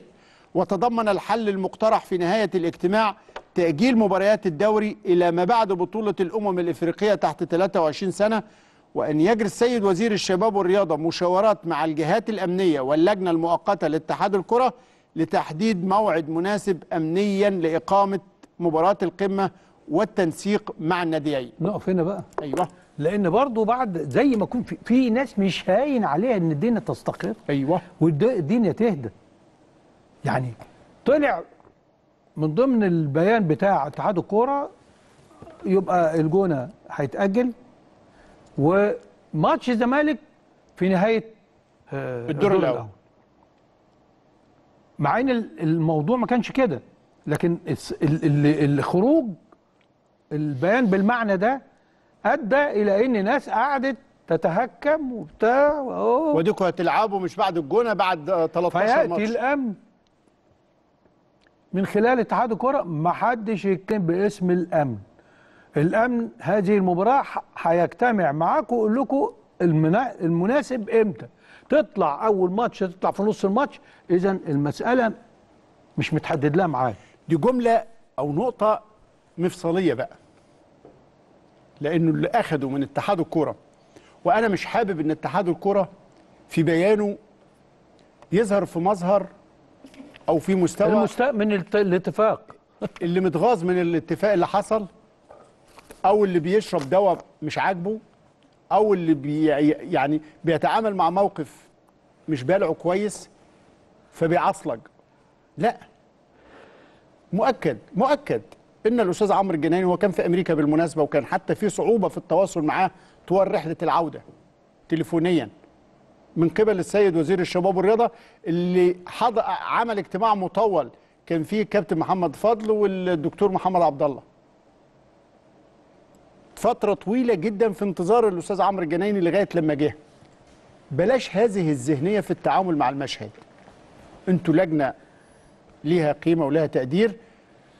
بتتولى العمل في مرحلة صعبة جدا وفارقة. الأمل عليكم كبير جدا.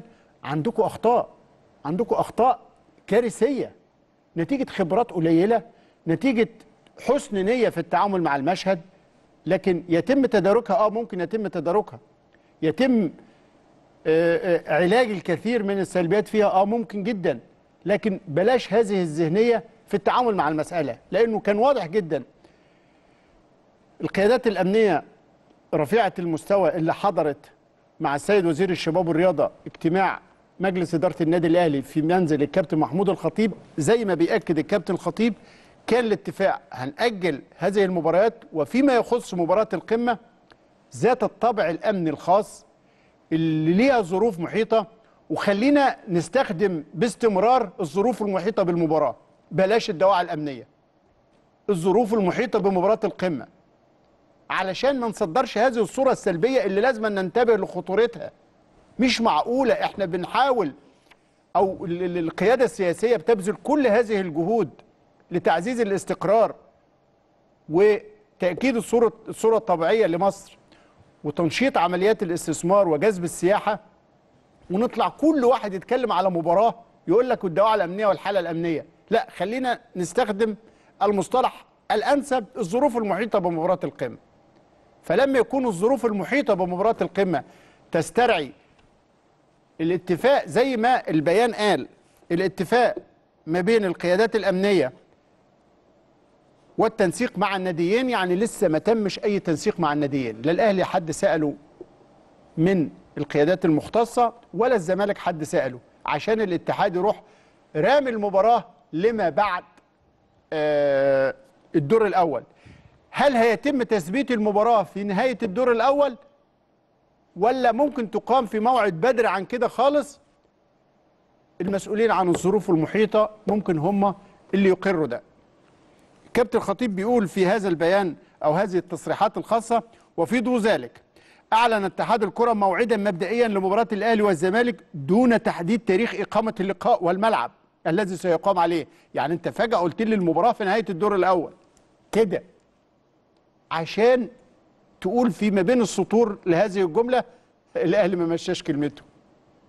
هو هنا كلام النقطة أنا عايز اتوقف هنا بقى. مش مناسب. عندما تؤخذ الأمور هو مين؟ أقوى من مين ومين هيمشي كلمته على التاني هذه مراهقة فكرية وصبيانية لا تليق بمسؤولين يتحملون مسؤولية بهذه الخطورة في, في هذا وطن التوقيت. في في في وطن عايز يقدم كل شيء ها وفي نفس وفي مقدمة ما يريد الوطن يقدمه الأمن والأمان ل- لمواطنيه فعندما.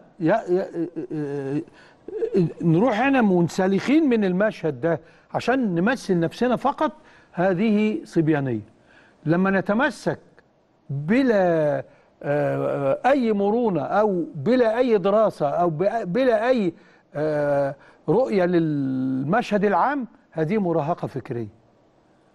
إن أنا أبقى لا أنا قلت كلمة مش عارف خلاص ليها ظرفها وليها كلامها في معطيات دخلت تخليك تعيد حساباتك. هنا النضج. لما فيش معطيات دخلت أقول لك آه إيه اللي خلاك رجعت؟ لكن لما تجد اتقعد معاك ومن مسؤولين مهمين معطيات معينة أقنعتك من الرجولة ومن إعلاء المصلحة العامة ومن تحمل المسؤولية ومن النضج إنك أنت تبني موقف جديد. بس عايزين نتعلم من هذه المواقف. إن كل طرف يعملها بالطريقة الملائمة. لأن بقول لك يا أستاذ إبراهيم إعلان التأجيل في منتصف الليل بهذا الشكل المقتضب ما كانلوش مبرر. وده اللي النادي سجل موقفه عليه. قال الكابتن الخطيب في هذه التصريحات الخاصة في ضوء ذلك أعلن اتحاد الكرة موعدا مبدئيا لمباراة الأهلي والزمالك دون تحديد تاريخ إقامة اللقاء والملعب الذي سيقام عليه. وهو ما سوف يتم حسمه لاحقا وكان لابد أن يعلن النادي الأهلي ومجلس إدارته مصلحة الوطن خاصة في ظل الحرص الشديد من القيادات المخلصة في الدولة على إزالة كل الشكوك حول أي من الأمور الخاصة بتأجيل مباراة القمة. إذا كابتن هنا عايز يقول القعدة تفاصيلها محدش كان له يد في تأجيل مباراة القمة سوى الظروف المحيطة المهمة بيها. محدش فرض كلمته. محدش آه، سعى لده. حتى وإن كان البعض رحب بده أو تمنى ده. لكن في النهاية القيادات المختصة المعنية بهذه الظروف المحيطة بالمباراة هي اللي قالت كلمتها وهي اللي فرضت قرارها وفقا للحالة العامة. بيقول الكابتن الخطيب وقيام الدكتور أشرف صبحي بجهود كبيرة. الحقيقة كان رجل هذه الأزمة كرجل دولة يعمل لمصلحة بلده ويقدر قيمة النادي الأهلي وانحيازه الدائم للوطن وقضاياه. وطلب الكابتن محمود الخطيب في التصريحات التأكيد على العديد من النقاط. الرؤية الأمنية لها احترامها وهيبتها. دي المسائل اللي المفروض تكون يعني خط مهم الفترة اللي جاية. وبالتالي وبالتالي لا يجب أن يتحدث أي شخص باسم الجهات الأمنية. وإذا كانت هناك ضرورة للحديث لابد أن تكون في الغرف المغلقة وليس عبر وسائل الإعلام. ما حدش من حقه يقول مثل هذه الكلمات. فيه ظرف ما حول الظروف المحيطة بمباراة أو بأخرى تكون من قبل الجهات المختصة المعنية وفي غرف مغلقة. لكن اللبانة لازم تقف. الرغي في حتة أصله مش عارف عشان إيه وعشان إيه وعشان الجمهورين وعشان لا. تصوير الأمر على غير واقعه غلط. الدفع باستمرار على إنه في تهيب وفي تخوف من علاقة الجماهير ببعضها وده قاعدين على القهوة وقاعدين في الشارع ده كلام صغير. كلام لا يعكس حقيقة الصورة الطبيعية. لكن الكلام الكبير والكلام المهم أن هناك ظروفا محيطة بالمباراة تستدعي التأجيل. هي إيه؟ كل اللي عنده كلمة في التفاصيل يلمها ويت- ويترك الأمر فقط للقيادات الكبيرة المختصة المعنية. ده الكلام الواضح والمهم. بيقول الكابتن الخطيب لم يكن من المنطق أن يتم الإعلان عن تأجيل مباراة في منتصف الليل. وأن يتم اختار أطرافها قبل صدور بيان التأجيل بعشر دقائق. دون أي حوار أو توضيح أو تنسيق مع طرفي اللقاء. خاصة لم يكن هناك ما يدعو للاستعجال وإعلان قرار التأجيل ليلا. مسألة فعلا لا مش منطقية. وهذا الإعلان بهذا الشكل في هذا التوقيت المتأخر هو ده اللي عزز الإدعاء بأن هناك طرف ما يقف وراء هذا التأجيل لمصلحة فنية ما. إخراج السيناريو بهذا الشكل هو اللي عزز هذه الصورة وهو اللي دفع الجماهير إنها تعتقد كده. فالإخراج كان سيء جدا. التوقيت كان بالغ ال- الغرابة. عدم اللجوء للأطراف المعنية كان شديد ال- الريبة. خلق هذه الصورة السلبية اللي زالت تماما في الاجتماع اللي عقد في منزل الكابتن الخطيب. لم يكن أيضا لابد أن يحرص الاتحاد على ثبات مواعيد جدول المسابقة. تعالى لي بقى في الملاعب التي يحددها. دون تقديم أو تأخير أو تبديل لمباراة للمزيد من العدالة أنت حطيت جدول وأنت عندك كل المعطيات قدامك كل التفاصيل عندك كل ال- الأطراف المعنية خلاص. يا أخي أنا بطالبك احترم اللي أنت فرضته عليا. ليس أكثر ولا أقل. في نقطة مهمة جدا بما إنه جاب آه بيتكلم دلوقتي عن كل الأندية والجدول والملعب. آه يا اخوانا ال- ال- ال- الدوري مش أهلي وزمالك. الدوري فيه أندية أخرى لها حقوق أخطر بكتير جدا من حقوق الأهلي والزمالك. أو لا تقل عنها. أخطر بكتير يا أستاذ إبراهيم صدقني. أنا لما أكون بسعى عشان أبقى بطل غير لما أكون بسعى ان أنا عشان ما أنزلش. صحيح. الكلفه عاليه الأدنى. قوي الكلفه تحت عالية. آه، يعني ال ال ال ال يعني الموقفين مش متساويين. ده مصيبة. مفيش مصايب في الرياضة بس دي دي ده ده دي حجمها مؤلم وثمنها مؤلم صحيح. ودي خيرها في غيرها. دي فاتورة ودي فاتورة. آه، فاتو- فواتير مختلفة. آه. البطل المتعود على إنه يبقى البطل. دي بالظبط عاملة زي موقف اللي عايز يطلع الأول على على الفصل واللي واللي بيسقط. اللي مش عايز يسقط. فما تجيش انت الراجل اللي بيطلع الأول على الفصل يبقى عنده مشكلة مع المدرس المدرس يزعل ويلغي الحصة ويمشي. طيب.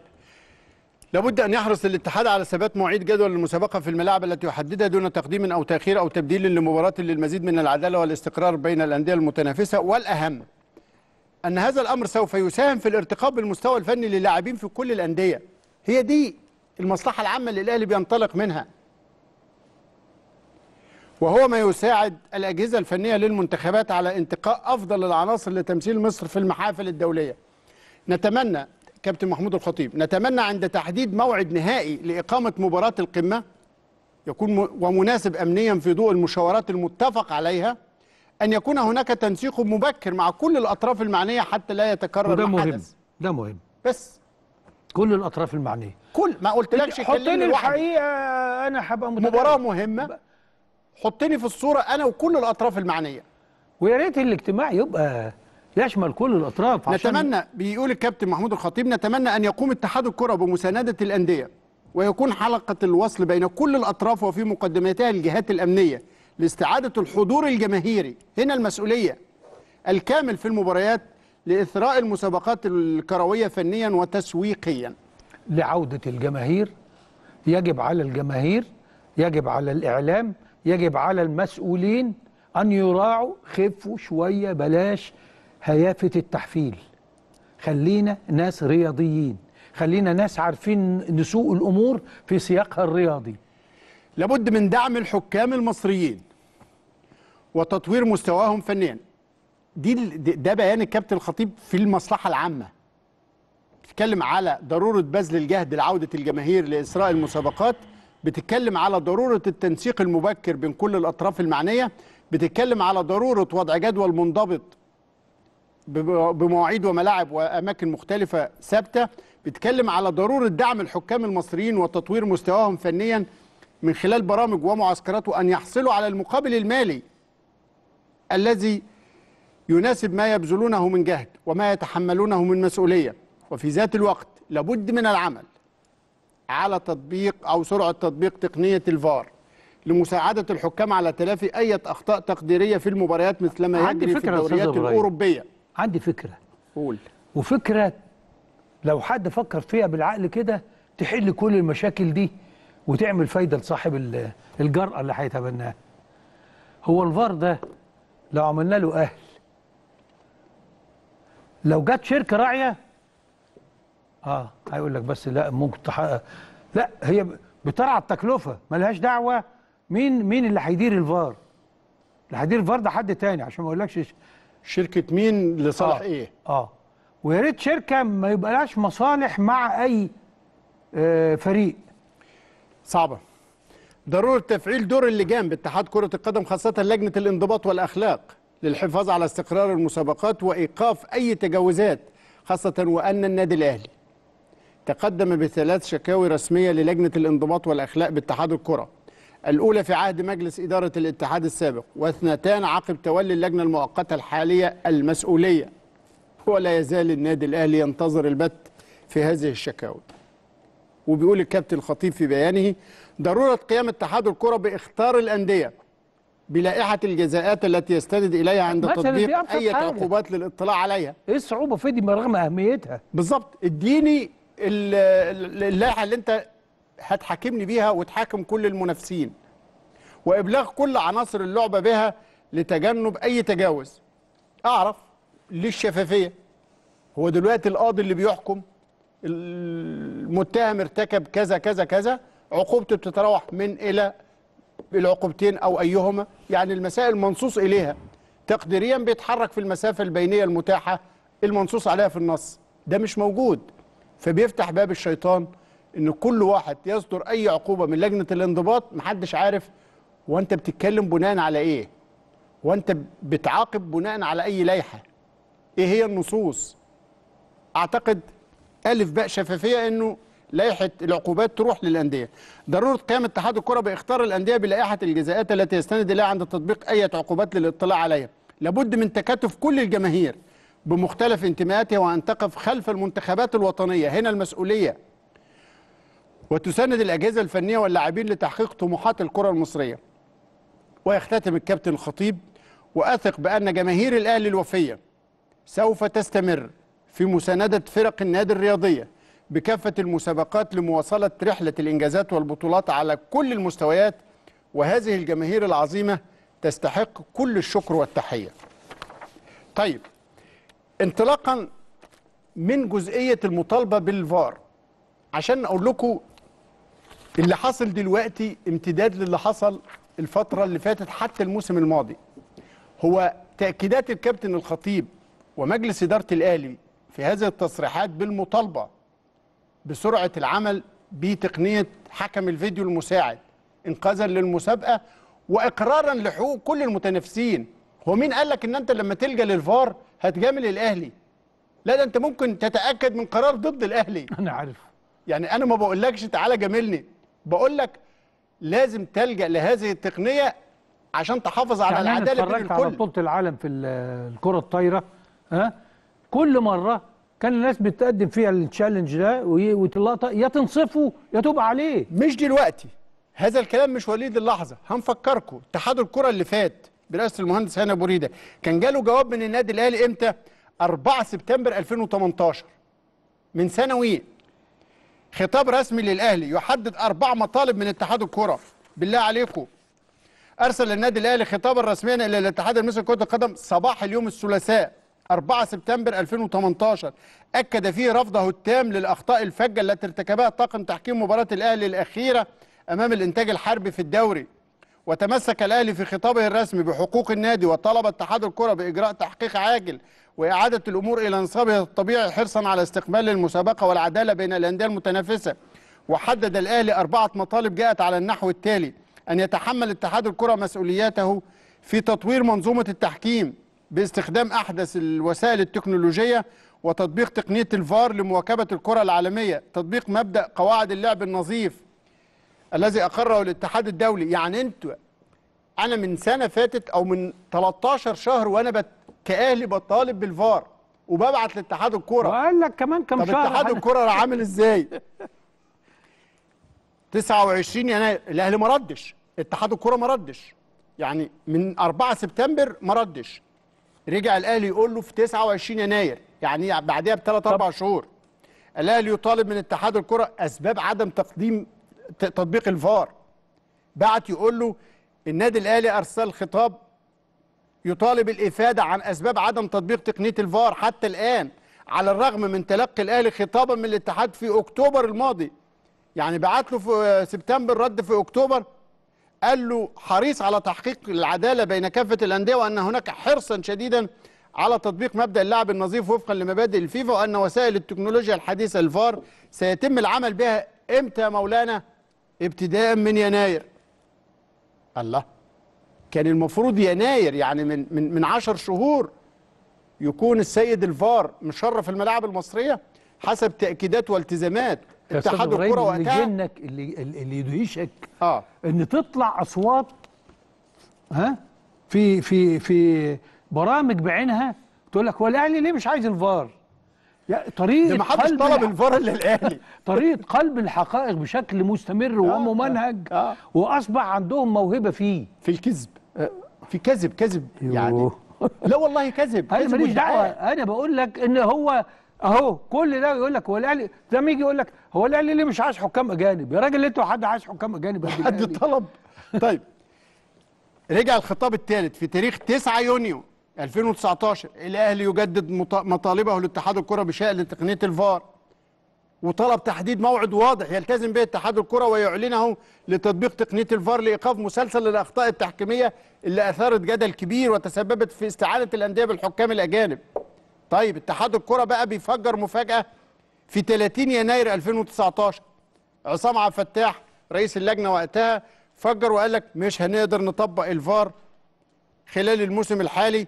لأنه الوضع مش مناسب والامكانيات لا تسمح. هنا بقى كابتن عصام عبد الفتاح رئيس اللجنة ها؟ مش بيكذب إنما بينفي كلام الكابتن عصام عبد الفتاح عضو مجلس الإدارة. بالظبط. قال لك هنطبق في يناير؟ هو قال لك لا مش هنطبق في يناير. في الموسم الحالي مع بدايته الأستاذ عمرو الجنايني يتعهد بتطبيق أو إدخال تقنية الفار في التحكيم وإنه ملتزم بده على الأقل مع بداية الدور الثاني نفكركم بكلام الأستاذ عمرو الجنايني في إم بي سي مصر وهو يتحدث عن الفار اللي الأهلي بح صوته. فيها خطوات بقى يعني تعالى في لازم ناخد approval من بره من ال- هيئه زي تابعة للفيفا هي خاصة بالفار. ده في هيئة ليها علاقة بالفار؟ آه آه في زي زي إدارة كده من الفيفا موجودة. بس مصلحة الفار. أو مصلحة مصلحة الفار. وفي كمان لازم يتم تدريب الحكام. ومش مجرد إنه هيقعد قدام شاشة هيقول لك آه. لا ده ده بياخد وقت. علشان كده أنا حتى لما قلت إن شاء الله هنركب الفار كان أمنيتي طبعا إن أنا أبتدي بيها. إحنا إن شاء الله الدوري هيبتدي في شهر تسعة. هنعلن على الجدول الأسبوع ده إن شاء الله بعد القرعة. وي- جدول الدوري في شهر تسعة. هقول لك وبلتزم أهو قدامك. لا قبل بس ما نروح. بعدين. تدريب الحكام هياخد له بنتكلم مثلا minimum شهر ونص شهرين. فعلى الأقل لو ما لحقتش الدور الدور الأول, الأول الدور, الدور الثاني التاني أكيد بفار. أنا ملتزم قدامك إن هي إن هو بالفار إن شاء الله. مصر هيكون فيها فار في الدور الثاني اللي موجود في الدوري الإنجليزي اللي موجود في الدوري ما الاسباني هو ما فيش فار آه، مضروب يعني. هو زي أي فار في العالم. بالظبط. مش الفار المصري ده هيبقى ليه مش حاجة. بيومي مش مش عاملينه مش بيومي. بيومي فان شاء الله.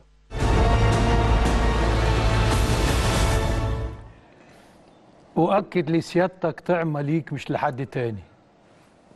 واكد لسيادتك من يناير في فار. في كلام تاني؟ نتمنى. بس شفتوا مطالب الأهلي العادلة شفتوا حرص الأهلي على المطالبة بحقوق كل الأندية بيتكلم على مصلحة عامة بيتكلم على سبل الارتقاء بكرة القدم في مسابقاتها. واحد منها تطبيق تقنية الفار إقرارا للحقوق ولا أنها كانت حلقة الحقوق اللي حصل فيها النادي الأهلي على كل هذه الأحكام إقرارا للحق. كانت مهمة جدا. دمتم للأهلي دائما ودام لكم الأهلي بإذن الله تعالى بطلا شامخا. وعلى خير نلتقي في الحادية عشر مساء الاثنين القادم إن شاء الله. تصبحوا على خير.